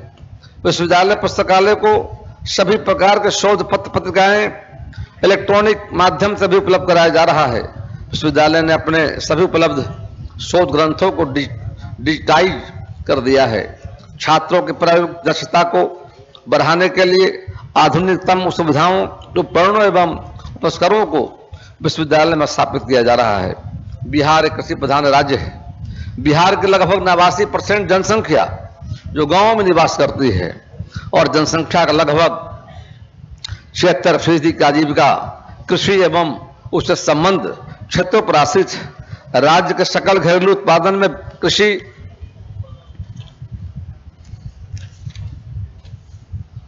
एवं संबंध क्षेत्र का लगभग 18 परसेंट हिस्सा है, जिसमें लगभग 33 परसेंट यानी राज्य के कुल सकल घरेलू उत्पादन में 6 परसेंट पशुपालन क्षेत्र का योगदान है। पशुपालन, डेयरी और मत्स्य पालन गरीबी उन्मूलन, ग्रामीण अर्थव्यवस्था के विकास और बेरोजगारी के उन्मूलन का अवसर प्रदान करते हैं। पशुपालन क्षेत्र कुल ग्रामीण आय में लगभग पाँचवें हिस्से का योगदान देता है। और समाज के सीमांत तबके के श्रमिकों एवं महिलाओं को बड़े पैमाने पर रोज़गार उपलब्ध कराता है। देश के लोकप्रिय माननीय प्रधानमंत्री आदरणीय नरेंद्र भाई मोदी जी ने 2022 तक किसानों को आय दुगुनी करने की बात कही जा करके। और उस दिशा में मैं समझता हूँ कि जो राज्य के हमारे अन्नदाता किसान भाई बहन हैं, खेती के साथ साथ यदि संबंध क्षेत्रों में यदि हमारे किसान गौ पालन, बकरी पालन, मुर्गी पालन, बर्मी कंपोस्ट, मधुमक्खी पालन, ऐसे जो एलाइड हमारे जाकर के उस क्षेत्र में यदि जुड़ते हैं तो निश्चित तौर पर उनकी आमदनी बढ़ेगी। मैं विगत के पिछले वर्ष में देख रहा था, राज्य के कई ज़िले में किसान भाइयों के द्वारा खेती के साथ साथ समेकित कृषि प्रणाली अपनाया जा रहा है और उसका परिणाम हो रहा है, उनकी आय बढ़ रही जाकर के। बिहार में जिस तरह ग्लोबल वार्मिंग हो रही है, मौसम बदल रहा है, और मौसम का असर बिहार पर भी है।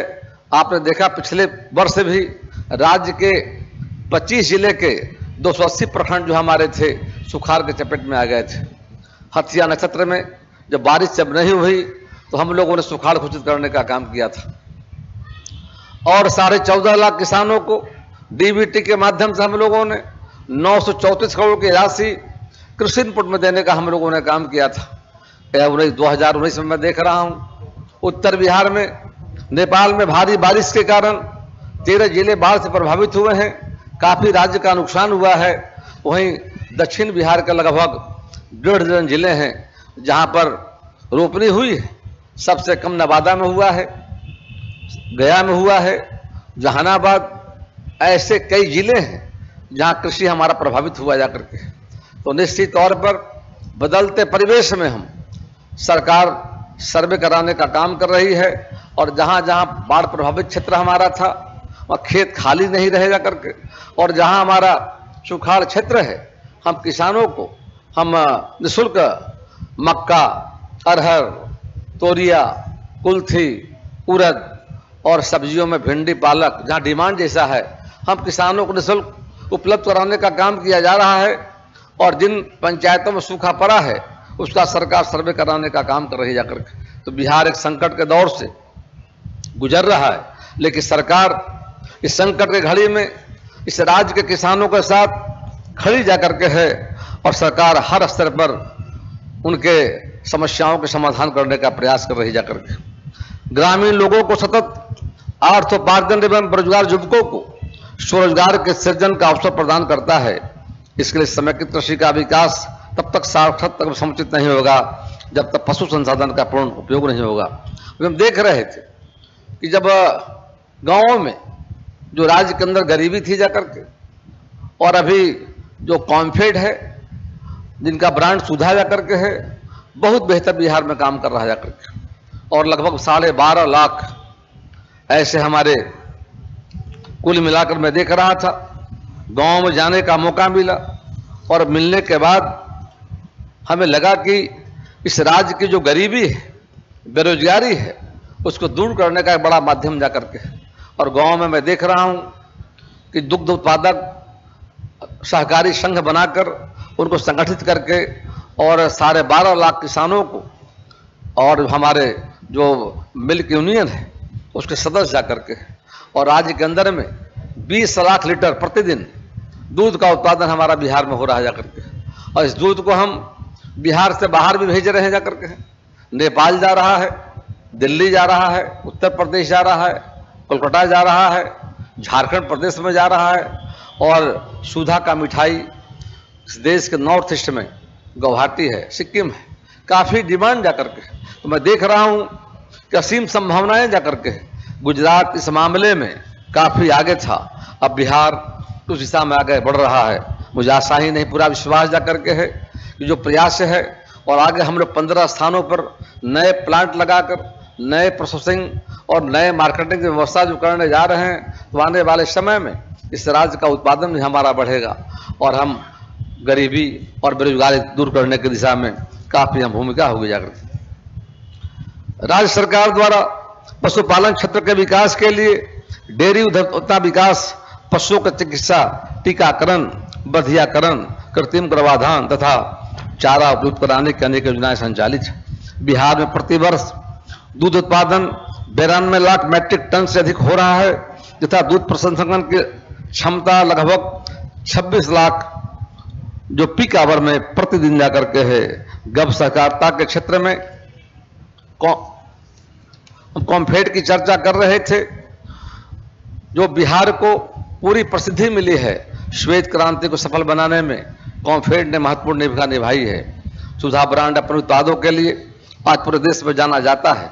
कॉम्फेड ने दूध उत्पादकों के पशुओं का विशेष ध्यान रखा है एवं उत्पादकों को गाँव में ही पूरे वर्ष उचित कीमतें पर दूध के विपणन का अवसर प्रदान करता है।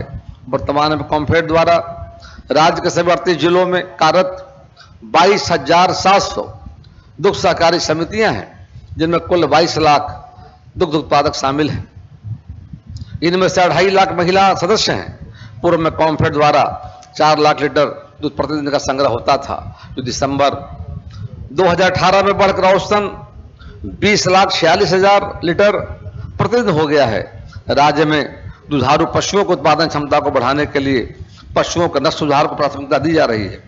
इस हेतु पशु प्रजनन नीति 2011 के अनुरूप कार्य करने कार्य करने की योजना बनाई गई है, जिसके तहत पशुओं के नस्ल सुधार हेतु नस्लों को चिन्हित किया गया है। राज्य के अंदर दो करोड़ पशु हैं जाकर यानी गाय और भैंस मिलाकर जाकर।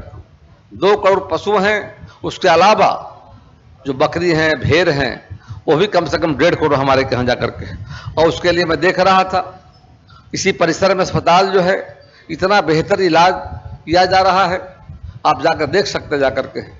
और काफ़ी मैं देख रहा हूँ, काफ़ी उसमें जो सुधार हुआ है और काफ़ी बेहतर तरीके से हमारा इस कैंपस में जो काम हो रहा है, पशुओं के चिकित्सा का काम हो और अन्य अवसरों पर काफ़ी सहयोग दिया जा रहा है। उक्त प्रजनन नीति के आधार पर कृत्रिम गर्भाधान के प्रोटोकॉल का क्रियान्वयन किया जा रहा है। इससे राज्य के करोड़ों पशुओं का सुधार होगा, जिससे दूध उत्पादन नीति में वृद्धि होगी बकरी पालन, मुर्गी पालन इत्यादि कार्यक्रमों को दो स्तरों पर क्रमशः व्यवसायिक स्तर के कार्यक्रम में बड़े पैमाने पर उत्पादन एवं प्रजनन की व्यवस्था की गई है। तथा मुर्गी तथा बकरी पालन की योजना को जीविका के माध्यम से संचालित कर समाज के कमज़ोर वर्ग को स्वरोजगार उपलब्ध कराया जा रहा है। राज्य में मांस के उत्पादन में अच्छी वृद्धि हुई है, जबकि अंडा उत्पादन में और अधिक ज़ोर देने की आवश्यकता है। बिहार में विविध प्रकार के प्राकृतिक जल स्रोतों की बहुत बहुतायत है। और मत्स्य पालन ग्रामीण क्षेत्रों में कई परिवारों का पारंपरिक पेशा जाकर अतः राज्य सरकार मछली उत्पादन बढ़ाने के लिए अनेक योजनाएँ चला चलाई जा रही है। पूरे राज्य में लगभग 50 लाख के आसपास मत्स्य पालक जाकर के और राज्य के पाँच सौ चौंतीस प्रखंडों में 400 लगभग 70 प्रखंडों में हमारा मत्स्यजीवी सहकारी संघ काम कर रहा जाकर के जिसके फलस्वरूप बिहार में मछली का उत्पादन वर्ष 2005-6 में दो पॉइंट अट्ठासी लाख टन से बढ़कर वर्तमान में 8.79 लाख टन प्रति वर्ष हो गया। करके हम मछली के मामले में एक समय था जो आंध्रा से मछली हम आयात करते थे, बाहर से आता था, बंगाल से आता था, समय बदला और हमारे सरकार के बेहतर प्रयास का परिणाम जाकर के है कि अब हम एक्सपोर्ट करने लगे जाकर के। हम बिहार से मछली को बाहर भी भेज रहे हैं। कल हम लोगों ने उसका वेबसाइट ऐप और कॉल सेंटर का हम लोग शुभारंभ किया है ताकि राज्य के जो मत्स्य पालक हैं मत्स्य पालक जो राज्य के अंदर में हैं, वो घर बैठे भी जान सके जाकर के सरकार की योजनाओं के बारे में, उसकी प्रक्रिया किया जा करके है। तो एक अच्छी शुरुआत की गई है। वैज्ञानिक अनुसंधान एवं आधुनिक प्रबंधन के द्वारा मत्स्य पालन को बढ़ाया जा सकता है, जिससे मछली पालन में बिहार आत्मनिर्भर बन सके। सरकार ऊपर बिजली, नीचे मछली की योजना पर भी कार्य कर रही है, जिसमें तालाब के में सोलर जो पैनल होता जा करके, लगाकर सौर ऊर्जा उत्पन्न करते हैं तथा नीचे जल में मछली पालन किया जाता है। यानी किसानों को उससे आय बढ़ेगी। किसान अपनी आय के लिए केवल कृषि उत्पादन पर निर्भर नहीं रह सकते। कृषि के साथ साथ पशुपालन, मुर्गी पालन, मत्स्य पालन आय के महत्वपूर्ण स्रोत हैं। और जैसा कि हमारे जो अपने नाबार्ड के हमारे आए हुए हमारे मुंबई चल कर गए हैं इसमें बहुत ही बातों को बहुत बड़ा ही विस्तार से रखा है कि कृषि संबंध क्षेत्रों में, इससे हम देश के देश की अर्थव्यवस्था में जो काफ़ी योगदान जा करके है और कैसे और बेहतर बिहार में कर सकते हैं इस पर रोशनी डालने का उन्होंने काम किया था। आपदा जैसी विषम परिस्थितियों, खासकर सुखाड़ के दौरान पशु एवं उसके उत्पाद आय का प्रमुख स्रोत बन जाते हैं। पशुपालन से गरीबी एवं भूमिहीन लोग भी अपनी आजीविका चला सकते हैं और आय में वृद्धि कर सकते हैं। जैविक खेती के लिए पशुपालन से प्राप्त गोबर एवं मूत्र का प्रयोग जैविक खाद एवं बर्मी कंपोस्ट एवं बायो पेस्टिसाइड बनाने की किया जा सकता है। अभी हमारी सरकार ने, हम तीसरा कृषि रोड मैप लाए हैं। पहला कृषि रोड मैप 2008 में आया था, दूसरा 2012 में लाए, और सरकार की प्राथमिकता थी कि गाँव गरीब किसान जो हमारे हैं, जो राज कृषि व्यवस्था का ऋण है, उनको कैसे बढ़ावा दिया जा सके। और तीसरा कृषि रोड मैप हम लोगों ने जैविक खेती को बढ़ावा देने के लिए और योजनाएँ चलाई जा रही है। पटना से लेकर भागलपुर तक गंगा के दोनों किनारे हम लोगों ने जैविक करोड़ बनाने का काम किया है। और पहले पहले चरण में हम लोगों ने पायलट प्रोजेक्ट के तहत समस्तीपुर, वैशाली, पटना, नालंदा के किसानों को कृषि इनपुट भी देने का, हम प्रति दस कट्ठे पर छः हज़ार रुपये की राशि देने का काम किया था। इस बार हम लोग नौ जिलों को शामिल किया है ताकि जैविक खेती जो करने वाले किसान होंगे, उनको सरकार सपोर्ट करेगी, ताकि उनके मन में जो भ्रम है, उत्पादन कम होगा। तो सरकार उनको तीन साल तक मदद करने का हम लोगों ने प्लान किया है जाकर के। और चालू वित्तीय वर्ष में हमारी योजना स्वीकृति की प्रक्रिया में है। और आशा करते हैं कैबिनेट स्वीकृति होने के बाद बिहार में जो जैविक खेती है जाकर के, जैविक खेती का क्या महत्व जाकर के है। आज जो हम रासायनिक खादों का जो प्रयोग किया जा रहा है, उससे एक और जहाँ मानव के स्वास्थ्य के सेहत पर असर पड़ रहा है, वही मतलब वायुमंडल में उसका असर हो रहा है। और साथ साथ खेतों के नीचे जो पानी के माध्यम से धरती के नीचे जा रहा है खाद रासायनिक खाद उससे मतलब हमारा पानी भी पोल्यूटेड होने का काम हो रहा है जाकर के। तो रासायनिक खादों से कैसे कीटनाशी दवाएँ काफ़ी नुकसानदेह जाकर के हैं, उससे छुटकारा कैसे मिले? और देश का पहला राज्य सिक्किम जो है, पूर्णतः जैविक राज्य बन चुका जाकर के। बगल का देश भूटान है, वहाँ भी जैविक शुरू हो गया जाकर के। तो आने वाले समय में बिहार के किसानों को सहयोग से राज्य सरकार की पहल है। हम आने वाले समय में आज़ादी के बाद पहली हरित क्रांति की शुरुआत बिहार से हुई थी। तो आने वाले समय में हम बिहार को जैविक खेती के मामले में आप सबों की मदद से आत्मनिर्भर बनाने का काम करेंगे जाकर। बिहार राज्य पशुपालन, डेयरी विकास, कुक्कुट पालन, मछली पालन में आत्मनिर्भर बन सके। इसके लिए इस क्षेत्र में लक्षित विकास के मापदंड तय किए गए हैं। इस क्षेत्र में उपलब्ध श्रेष्ठ प्रणालियों को अपनाना होगा। और इससे बिहार पशु विज्ञान विश्वविद्यालय प्रमुख भूमिका निभा सकता है। विश्वविद्यालय बनने बनने से न केवल पशु चिकित्सा, पशुपालन, डेयरी, कुक्कुट पालन तथा मत्स्य पालन को उन्नत करने में मदद मिलेगी, बल्कि नए महत्वपूर्ण क्षेत्रों में बायोटेक्नोलॉजी बायो इन्फॉर्मेटिक्स आदि का उपयोग भी क्षेत्रों के विकास में हो सकेगा। नए अनुसंधान जिस समय जलवायु परिवर्तन के कारण पशु रोगों में हो रही वृद्धि, उभरते रोग को रोकने के उपाय और संक्रामक रोगों से बचाव के लिए आधुनिक टीकों का विकास करने की आवश्यकता है। बिहार पशु विज्ञान विश्वविद्यालय में पशु चिकित्सा सुविधा का काफ़ी विस्तार किया गया है। परंतु हमारी अपेक्षा है कि बिहार में एक अत्याधुनिक पशु अस्पताल की स्थापना हो, जहाँ पशुओं को आउटडोर उपचार के साथ साथ उन्हें भर्ती कर इंडोर जाँच एवं उपचार की सारी सुविधाएँ उपलब्ध हो। वैसे मैं देख रहा था, काफ़ी बेहतर लोग काम कर रहे हैं। कम समय में और राज्य में जो का बड़ी संख्या में जो हमारे मवेशी हैं, गौ माता हैं, भैंसें हमारी जाकर के हैं, जो हमारे डॉग हैं जाकर के और खरा पर प्रयोग किया जा रहा है। बकरी, मैं देखा बीमार बकरी का इलाज हो रहा है। तो बहुत काफ़ी और हमारा एक, जो पशु विज्ञान विश्वविद्यालय बहुत बेहतर यहाँ के हमारे जो अधिकारी हैं, हमारे जो कुलपति हैं, उनके कुशल नेतृत्व में और सरकार के सहयोग से काफ़ी बेहतर काम कर रहे हैं जाकर के। वैज्ञानिकों एवं कृत्रिम गर्भाधान कार्य हेतु कुशल कर्मियों के प्रशिक्षण की समुचित व्यवस्था करें ताकि पशुधन विकास कार्यों को व्यापक स्तर पर चलाया जा सके। पशुपालन क्षेत्र में किसानों को अच्छी तकनीक का प्रशिक्षण तथा इस क्षेत्र में उपलब्ध, श्रेष्ठ प्रणालियों का प्रसार प्रदर्शन किया जाए ताकि वे मत्स्य पालन की उच्च तकनीकों का को अपना सके। आजकल बाज़ार में उपलब्ध मिलाप के दूध घी पनीर आदि की सरल जाँच के तरीके विकसित एवं प्रचारित करने की आवश्यकता है ताकि जनसाधारण को शुद्ध और मिलावटी दूध उत्पादों के प्रभाव से बचाया जा सके जा करके। और साथ ही साथ हम कहना चाहते हैं कि जिसकी चर्चा हमारे आज के नबार्ड के हमारे अध्यक्ष जो आज यहाँ आए हुए जाकर के हैं, श्री हर्ष कुमार जी उन्होंने एफपीओ की चर्चा की जाकर के। हम बताना चाहेंगे कि राज्य के 8,405 हमारे पंचायत जाकर के उन सभी पंचायतों में हमने एफआईजी फॉर्मर इंटरेस्ट ग्रुप का हमने गठन किया जाकर के।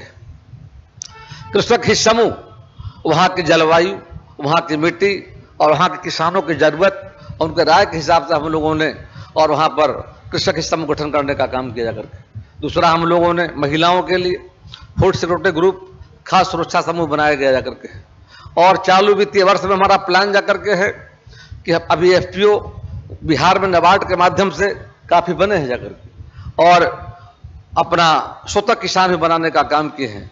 हमने विचार किया है कि जब तक बिहार में पंचानवे परसेंट किसान, छोटे, लघु, सीमांत किसान हमारे जाकर के हैं और खेतों, खेत हमारे टुकड़ों में बटे हुए जाकर के हैं, जब तक सामूहिक खेती नहीं करेंगे तब तो उन्हें फ़ायदा नहीं होगा जाकर।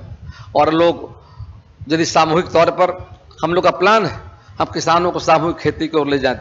एफपीओ बनाकर फॉर्मर प्रोड्यूसर ऑर्गेनाइजेशन जो है, हमने तय किया है कि राज्य के पाँच सौ जो प्रखंड हमारे हैं, सभी प्रखंडों में हम किसानों के सामने आर्थिक समस्या जाकर के है। हमने तय किया है कि हम उनको एफपीओ बनाने के लिए, जो भारत सरकार में जो कंपनी का जो शुल्क होता जा करके है और जो सीए को देना होगा राशि हमने विचार किया है कि सभी प्रखंडों में बनाकर और नीचे पंचायतों में हम एफआईजी बना करके जोड़ करके और आने वाले समय में सामूहिक खेती करेंगे तो निश्चित तौर पर जो हमारा परचेजिंग होगा, काफ़ी मतलब सस्ता होगा अगर, काफ़ी बचत होगी जा करके मान लेते हैं कम से कम 10 से 20 परसेंट का अंतर खा जाएगा जाकर।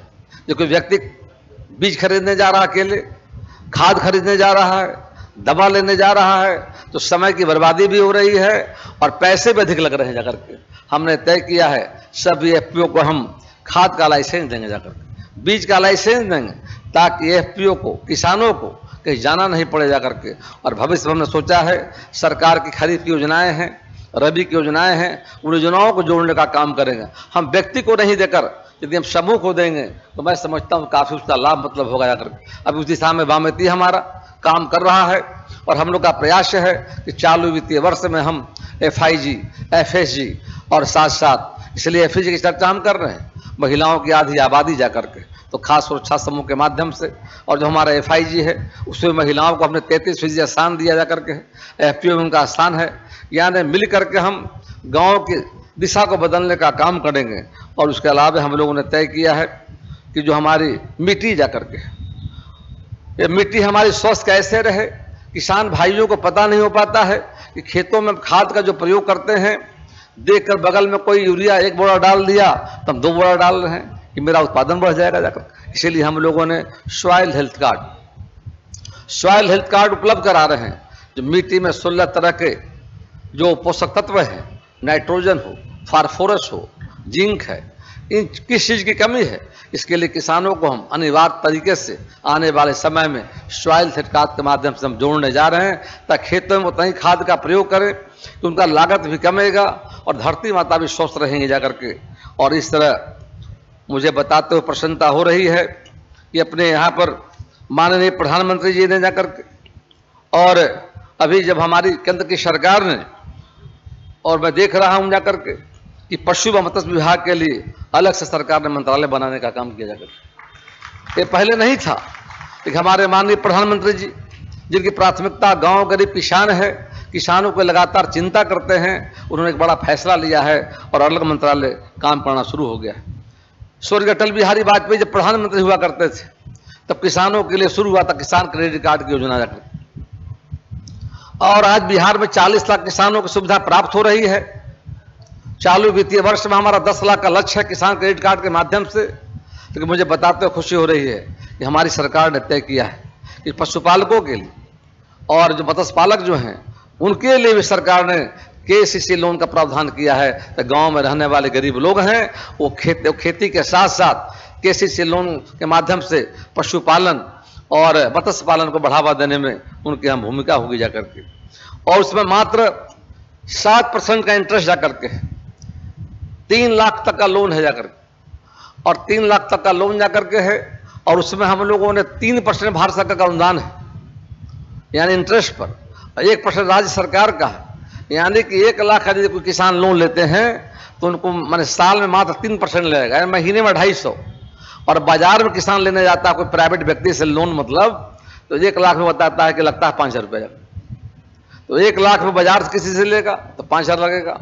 और यदि किसी से का उपयोग करते यदि आप हैं तो मात्र अढ़ाई सौ रुपया लगेगा जाकर के। तो इस तरह हमारी सरकार की बहुत सुंदर योजना जाकर के है। और अभी हम लोग बीमा उनतीस हज़ार किसान पशुओं का सबसे बड़ा एक समस्या था कि ऋण वाले योजनाओं में, सरकारी योजनाओं में बीमा की व्यवस्था थी, लेकिन प्राइवेट क्षेत्र में बीमा की व्यवस्था नहीं होने के कारण गरीब आदमी के सामने कभी ऐसी घटना घट जाती थी तो काफ़ी नुकसान होता था। तो हमारी सरकार ने, चालू वित्तीय वर्ष में हम लोगों ने उनतीस हज़ार पशुओं का बीमा भी कराने जा रहे जाकर और उसके लिए हम लोगों ने जो कंपनी को टेंडर दिया गया है, उसको हम लोग बाकायदे उनको वर्क ऑर्डर दे दिया गया है ताकि बिहार में पशुओं का भी हम जो निजी क्षेत्र में जो काम कर रहे हैं, एक गाय जिनके पास है, दो गाय है, चार गाय है, ऐसे लोग कभी किसी कारण से और दुर्घटना में पशुओं की मृत्यु जब हो जाती है तो किसान बेचारा बेहात हो जाता है जाकर के। उनके सामने भारी संकट खड़ा होता है तो बीमा का भी हमने प्रावधान किया है। हमारी सरकार ने उन्नीस बीस में हम देख रहे थे, अट्ठारह उन्नीस में भारत सरकार का जो बजट था, अंठावन हज़ार करोड़ का था करके। उस बजट को उन्नीस बीस में हमारी सरकार ने बढ़ाकर एक लाख इकतालीस हज़ार एक सौ चौहत्तर करोड़ कर दिया है। जो समझिए बजट प्रावधान किया गया है। यानी कि मतलब अढ़ाई गुना सरकार ने पशुपालकों के लिए मत्स्य पालकों के लिए हमारी सरकार ने व्यवस्था की जाकर।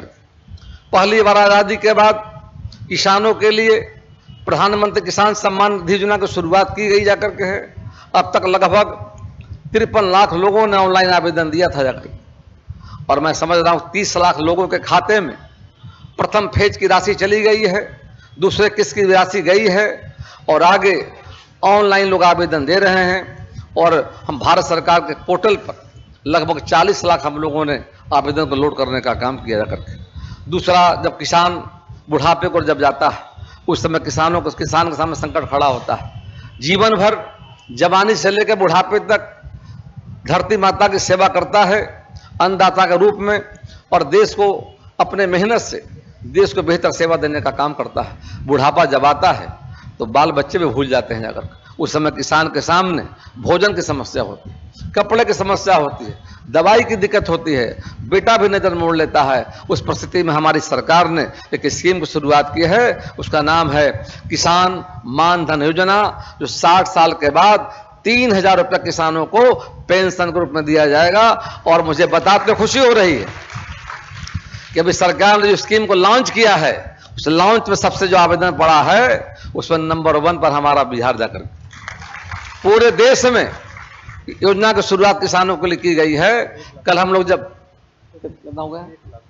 तो यानी कि सबसे, मैं एक लाख सबसे अधिक और आगे भी लोग आवेदन देंगे जाकर के, लेकिन मुझे खुशी हो रही है कि बिहार में कितना जागरूकता किसानों में आई है कि बिहार देश के सभी राज्यों को पीछे छोड़ते हुए किसान मान धन योजना में नंबर वन स्थान पर आकर खड़ा हो गया करके राष्ट्रीय गोकुल मिशन के लिए हम लोगों ने साढ़े सात सौ करोड़ की राशि हम लोगों ने दिया है। सरकार के राष्ट्रीय कामधेनु आयोग के गठन का फैसला लिया गया है। एक स्वतंत्र निकाय होगा जो गौ संसाधनों के तत्व आनुवंशिक उन्नयन को बढ़ाने तथा गायों को उत्पादकता को बढ़ाने के लिए नीतिगत ढांचा का ढांचा का बेहतर बनाने के लिए कार्य करेगा। डेयरी किसानों की आय आय बढ़ाना, गोवंश की सुरक्षा एवं डेयरी सहकारिता का विकास और एफपीओ की हम चर्चा कर चुके हैं।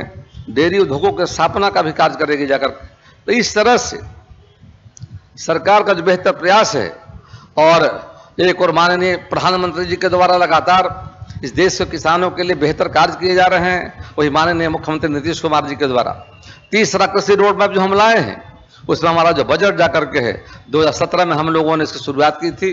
देश के वर्तमान राष्ट्रपति महामहिम रामनाथ कोविंद जी ने बिहार के बापू सभागार पटना में सा लॉन्चिंग करने का काम किया था।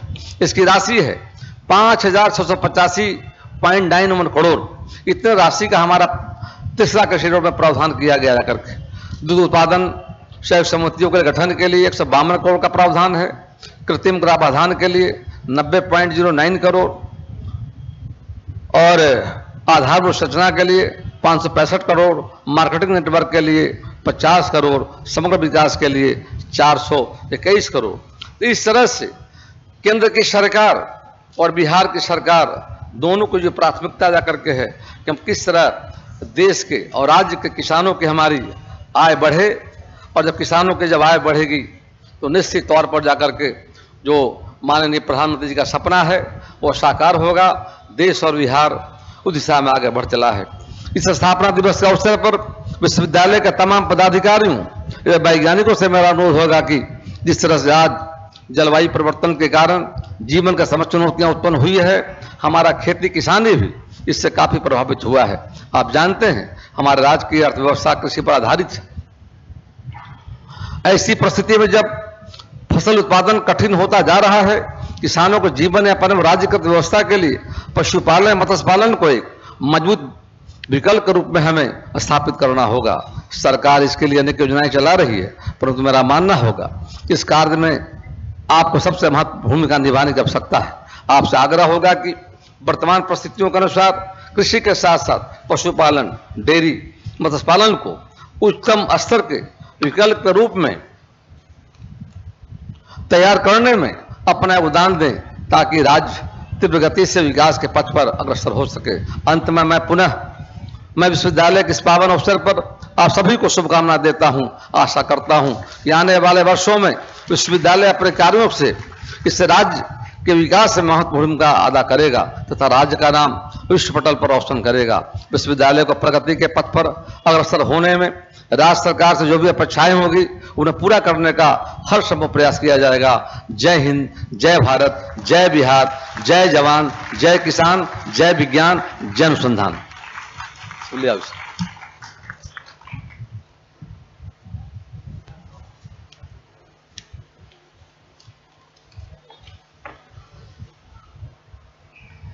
बहुत बहुत धन्यवाद माननीय मंत्री महोदय।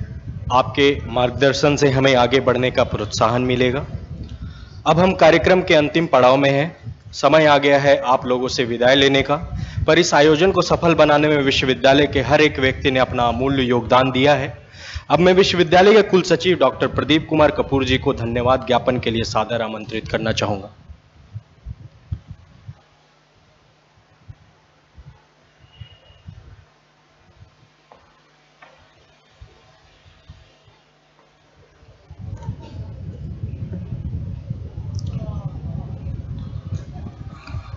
धन्यवाद, मिस्टर सत्य। सर्वप्रथम मैं आप सभी को, हमारे माननीय मंत्री जी को, इस विश्वविद्यालय के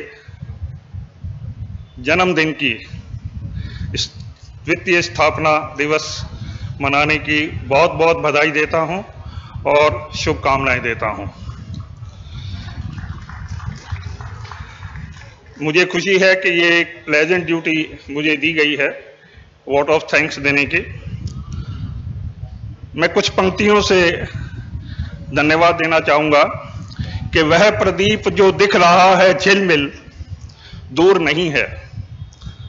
थक कर बैठ गए क्या भाई, मंजिल दूर नहीं है। है कौन विघ्न ऐसा जग में, टिक सके आदमी के मग में? खम ठोक ढेलता है जमनर पर्वत के जाते पाँव उखड़। मानव जब ज़ोर लगाता है, पत्थर पानी बन जाता है। तो ये हमारे दो साल का कि हम क्या सोचें, क्या ना सोचें। अगर हम, हमारी विल पावर स्ट्रांग है और हमारा फर्म डिटर्मिनेशन है तो हम हर उस मंजिल को पा सकते हैं जो हमको बड़ी दूर नज़र आती है। मैं इस समारोह के उपलक्ष्य में हमारे बहुत ही प्रिय और माननीय मंत्री डॉक्टर प्रेम कुमार जी का बहुत बहुत धन्यवाद करता हूँ कि उन्होंने अपना बहुमूल्य समय हमें इस स्थापना दिवस को मनाने के लिए दिया और अपनी उपस्थिति से हमें गरिमा प्रदान की है। यह आपकी दूरदर्शिता का परिणाम ही है कि आज हम इस विश्वविद्यालय का दूसरा स्थापना दिवस मना रहे हैं। आपके निरंतर सहयोग और मार्गदर्शन से हम आगे बढ़ रहे हैं और आने वाले दिनों में और अधिक ऊर्जा के साथ इस विश्वविद्यालय को प्रगति के राह पर लेकर चलेंगे।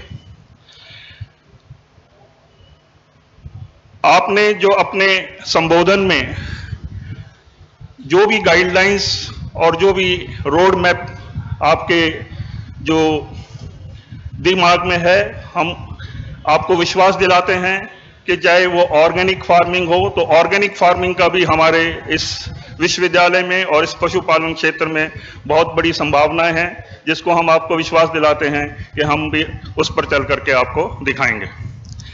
हम तहे दिल से आभार प्रकट करना चाहेंगे हमारे आज के जिन्होंने अभी अपना जो स्थापना दिवस के ऊपर संभाषण दिया।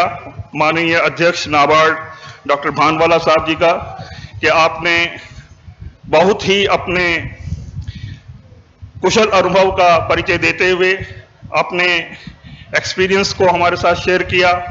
और पशुपालन क्षेत्र की जो महत्वता है उसको आपने सभी को बताया और जैसा कि हमारे मंत्री जी ने आपको बताया कि हमारे माननीय प्रधानमंत्री जी ने इस पशुपालन क्षेत्र की इंपॉर्टेंस को देखते हुए अलग से मंत्रालय बना दिया है और अलग से अब हम Indian council of veterinary research की भी संभावनाएँ तलाश कर रहे हैं।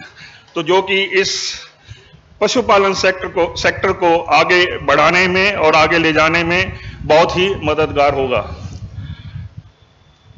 इस उपलक्ष्य में मैं एक हमारी छोटी सी जो रिक्वेस्ट है, मंत्री जी से कहना चाहूँगा कि हमारे इस विश्वविद्यालय के जो प्राध्यापक हैं वेटनरी कॉलेज के, पर्टिकुलरली जो कि ऑल इंडिया में नॉन प्रैक्टिसिंग अलाउंस मिलता है, उसके लिए कई बार आपसे रिक्वेस्ट कर चुके हैं। तो आप इस दौर, इस बारे में अपना गौर फरमाएँ और हमारे को कृतज्ञ मैं सहृदय से धन्यवाद देना चाहूँगा हमारे पूर्व मंत्री जी जो यहाँ बैठे हैं, कि इन्होंने अपना समय निकाला और हमारी यहाँ पे अपनी उपस्थिति देके हमारे को धन्यवाद के लिए मौका दिया। आपका बहुत बहुत धन्यवाद। मैं हमारे यहाँ पे जो विशिष्ट अतिथि हैं डॉक्टर विश्वास जी, डायरेक्टर आईजीआईएमएस, जिन्होंने बहुत ही अपने संबोधन में हमारे मेडिकल और वेटनरी की एसोसिएशन के बारे में काफ़ी कुछ बताया और जो कि एक कड़ी है जूनोटिक डिज़ीज़ और जिस पे हम मिल करके इनके साथ बहुत अच्छा काम कर सकते हैं और हम विश्वास दिलाते हैं कि ये विश्वविद्यालय आपके साथ हाथ में हाथ मिला करके इस दो, इस आगे बढ़ेगा। आपका बहुत बहुत धन्यवाद।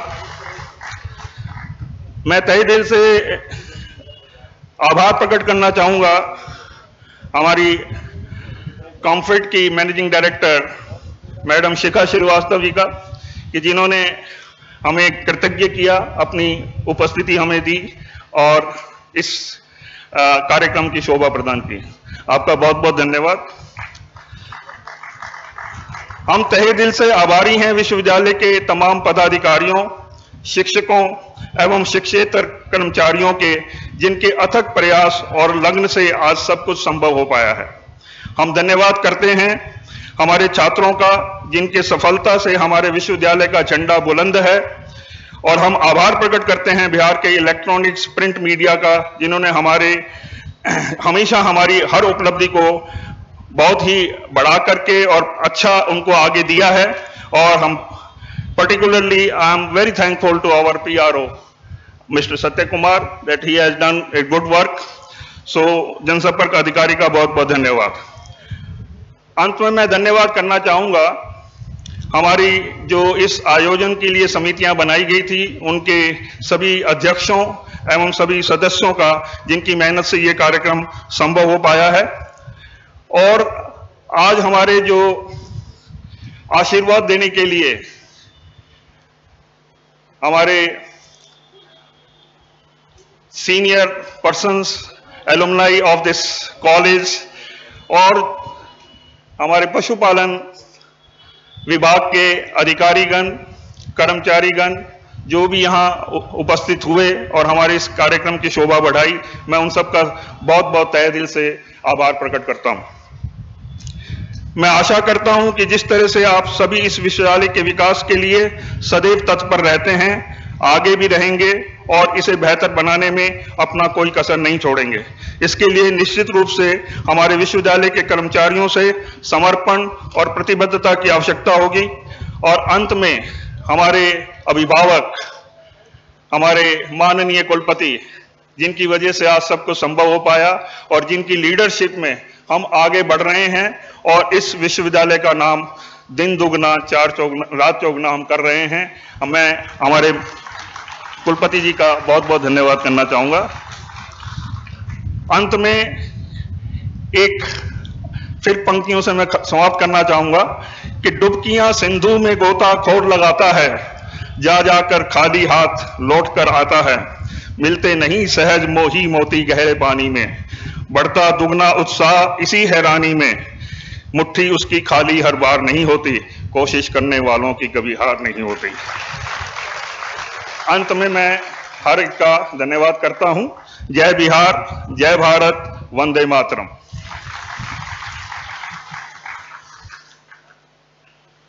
बहुत बहुत धन्यवाद कुलसचिव महोदय।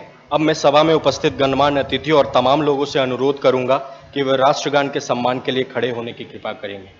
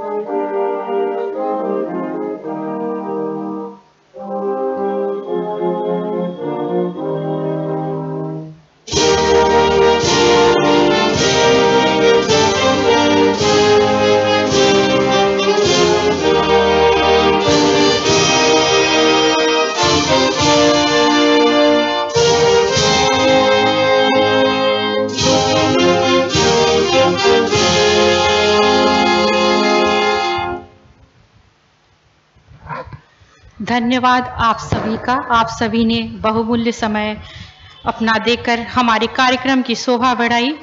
अब मैं सभी मंच पर उपस्थित गणमान्य व्यक्तियों से सादर निवेदन करूँगी कि आप सभी के लिए हमारे विश्वविद्यालय के गेस्ट हाउस में हाई टी की व्यवस्था की गई है। कृपया वहाँ उपस्थित होकर और हाई टी का आनंद लेकर हमारे विश्वविद्यालय का मान बढ़ाएँ। और इस कार्यक्रम में